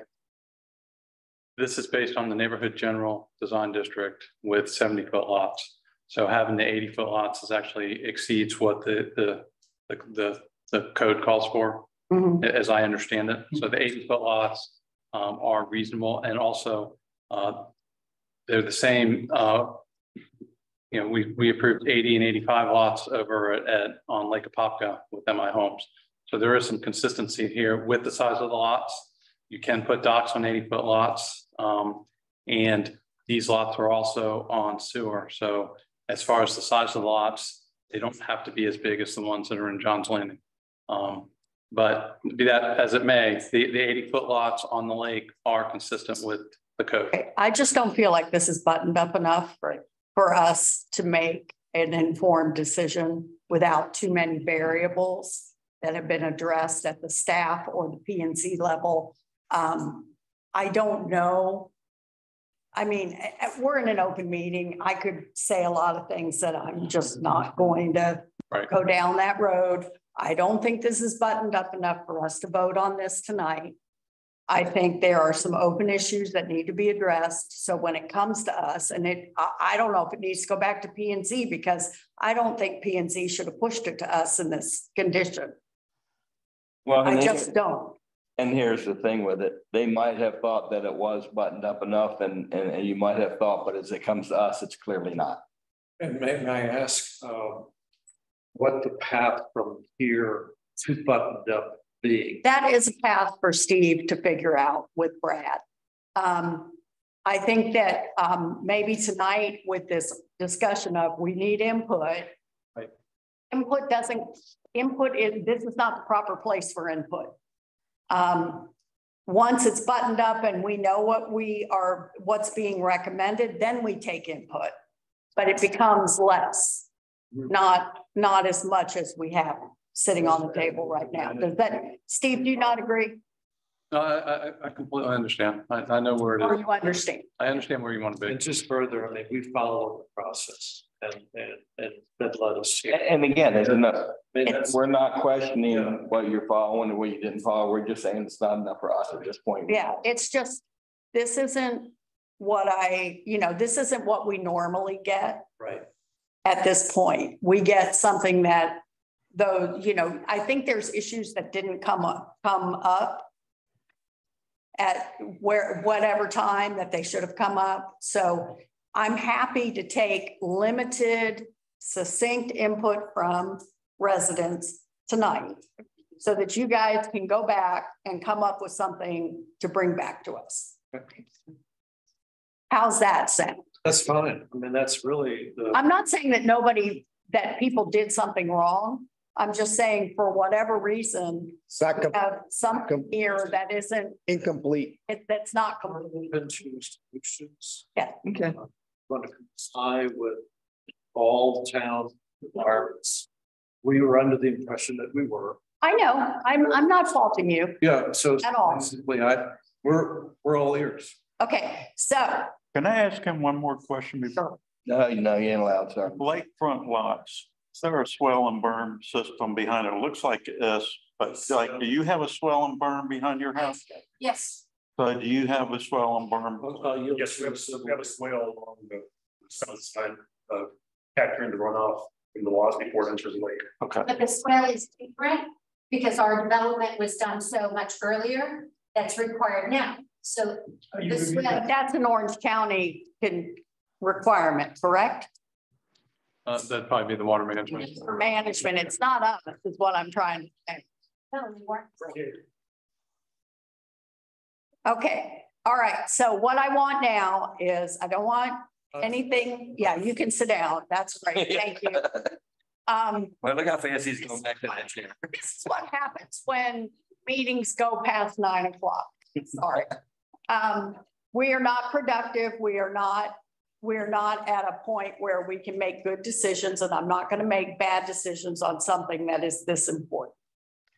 Um, so what I am asking for from the residents is, I'm hearing you about you want some kind of privacy barrier. And it's, I, I think it's up to, um, Ed and Steve or, and Brad to come up with what those options are. So we know that, correct? Yes. Um, Not today. not today, no, this is for going forward. I'm trying to, I'm trying to cut down comment here. Um, the second one is there's a concern about the lakefront widths. Um, swale and berm. Um, that is, or that's water management probably, but we'll No, that- work out what it is. That'll be part of the construction plan. I had a question about, you were talking to wildlife management about some kind of weird animal that I don't know anything about. Yeah, uh, well, I know blue jays and, um, gopher tortoises. What about eagles? So you're talking to them about eagles? Well, uh, Say yes. yes.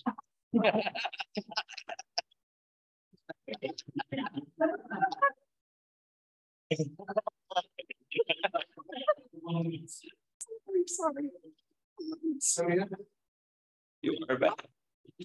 It's bad. This uh issue is uh, we we're gonna have a survey, but it's only ninety day. uh, I know, you said it had a shelf life. I heard that. I'm gonna do that a little later on in in permitting.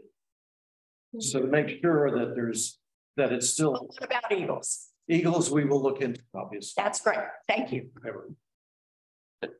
All right, Look what at him else? go back to that chair again.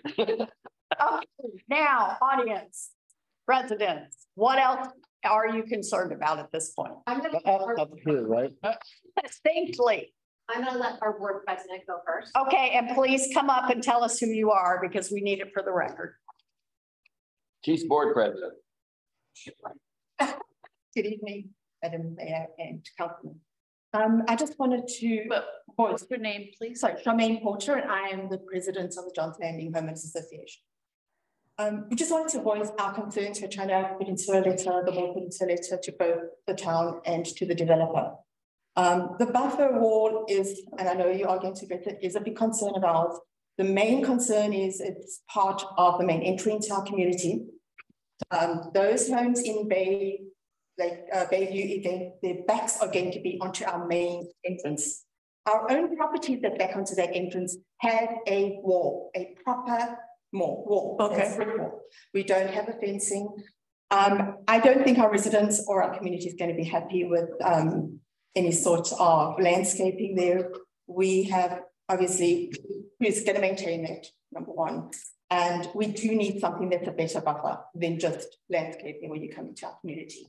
The other big concern is I'm not sure if you're aware, but John's Landing has two sections to it. It has a section that was developed by a developer and Lago Vista homes on both sides are our estate section, which are much larger. They are all custom homes.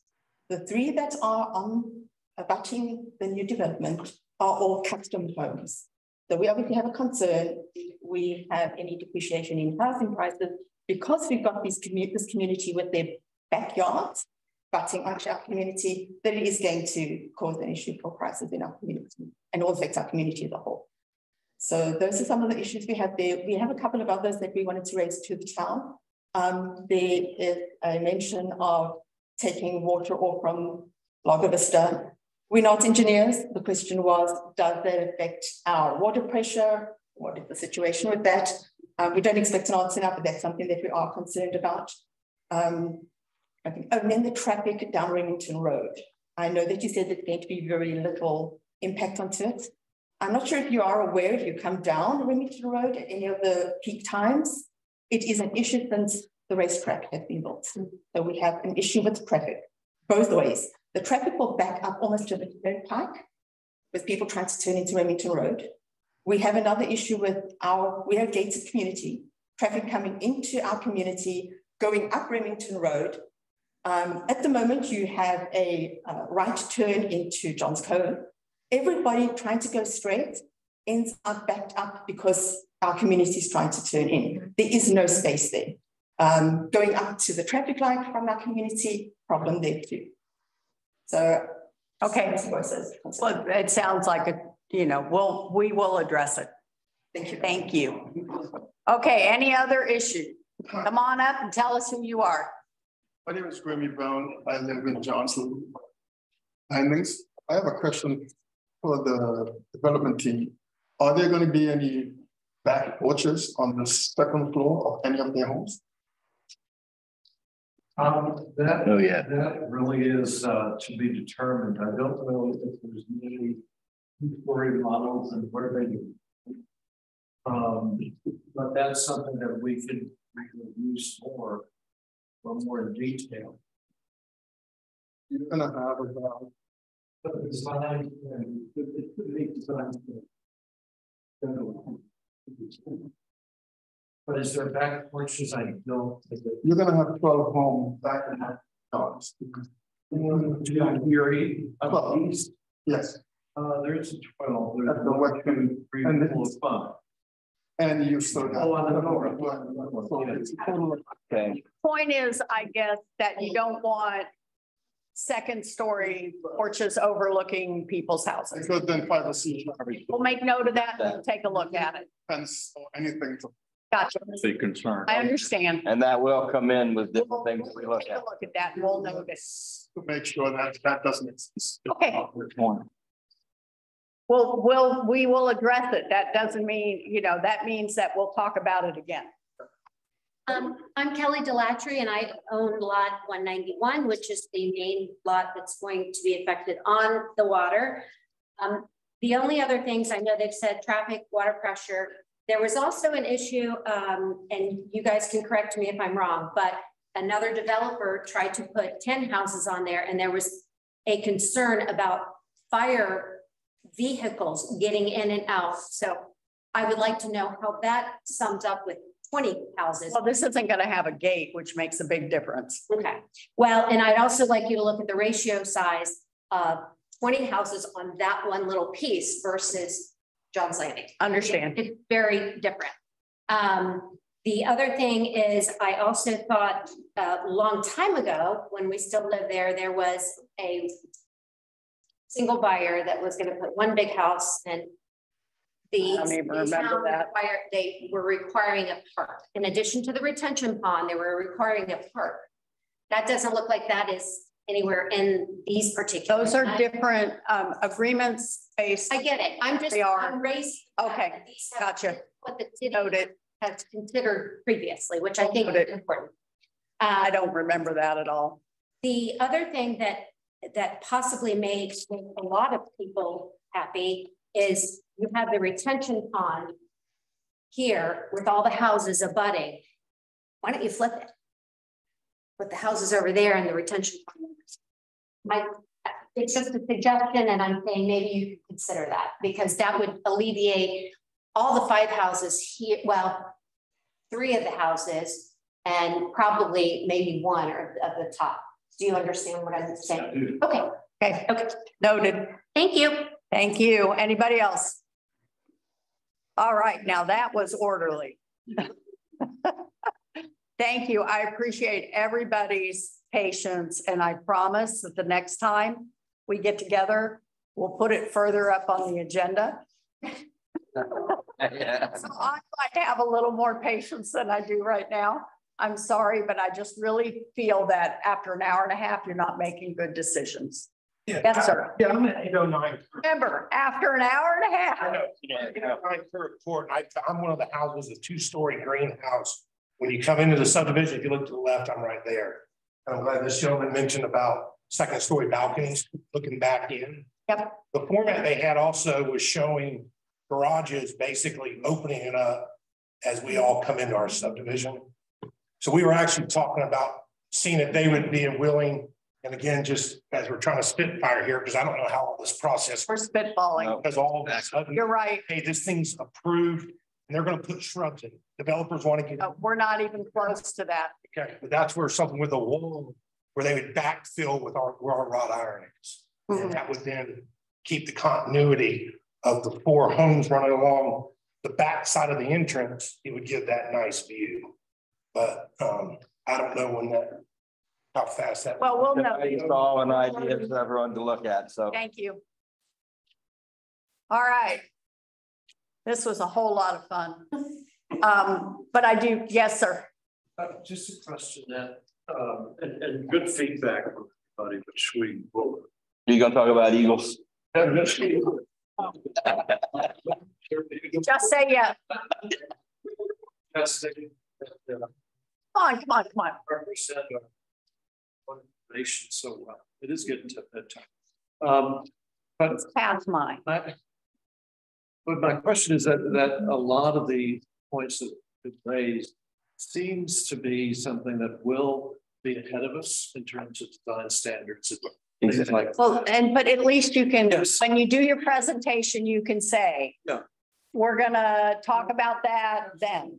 And I would say that organically, I don't know that Ashton Woods is going to necessarily want to be selling homes with balconies overlooking other homes necessarily. So there's an organic direction as well. It, it happened, but uh, again, we're prepared to, to step it through and. Good, and I, I'm glad that you guys have an open mind about taking feedback. I really am. Thank you. Thank you. Thank you. I'm sorry, I just have one question. How, how can we find, because I didn't know about the last meeting. So It's, we publish the agendas Thursday before the meetings on every second and fourth Tuesday of the month, except we have budget meetings this month, which is the only time in the whole year that we change our meetings. That's true. But If you Google Oakland, Florida Town Commission agenda, I promise, like, I can, I will have our whole community here, because I think there's more people that was like. Yeah, it's, it's published on the town, it's published on the town website Thursday prior to the meeting For news flashes and whenever our agenda. and Facebook. Get an email. Both P and Z and. None of them do that. We're hoping after all the community does come with you, Yeah, we, uh, answers, right? believe it or not, You'll have a lot of these answers already, like yeah, the, the wall. I mean, yeah. we should talk about that here. Keep us up late, so what the heck? All right. Are we done? Are we finished? All right, hey, hey, hey, wait, wait, wait. Didn't get the best part. I'd like a vote on it though. Yeah, we got to vote on it, right? Oh, to table it? Yes, we can. I need a motion.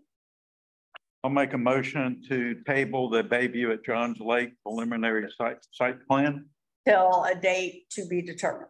to a, till, a- to a date to be determined. I'll second it. All right, moved and seconded, all in favor? All right, Aye. Now you can. now you can go.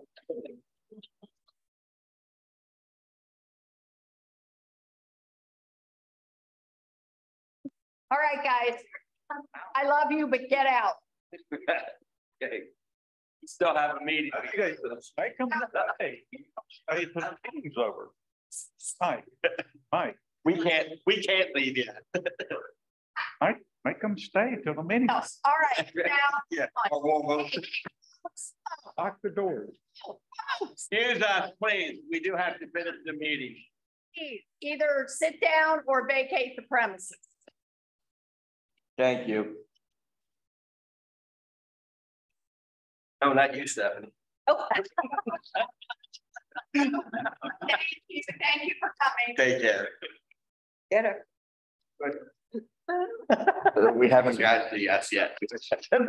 We asked me, I'm good. Town manager. Joseph, Uh, well, not, do I have anything? Oh, no, I'm good. okay, what about you? Do I have anything for the internet meeting? Or do you have anything to talk about as a commissioner? Oh, um. Tri-County League is gonna start, they're gonna start a survey probably the beginning of September. Um, just asking different questions, trying to get more people involved. So we're gonna get a survey and email, and I know Lisa get it.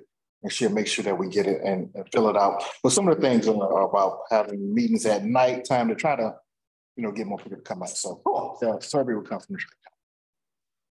Mikey? I wouldn't dream of. I don't have anything in, the- in that spirit. I have nothing either. Still got that, man.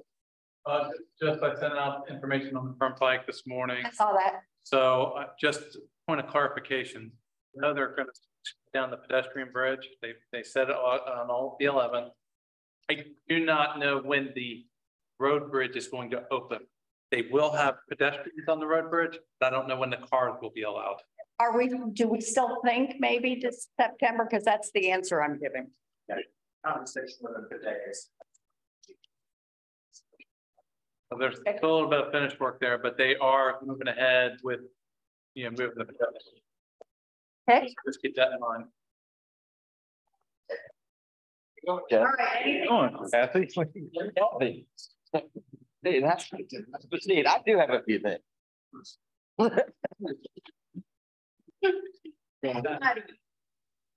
Take your life in your hands. All right, all, all, all, Go ahead, please. that's adjourned nine thirty-three. Wow, that's the first time in your, what, twelve years? Yeah. That you didn't part in mind it.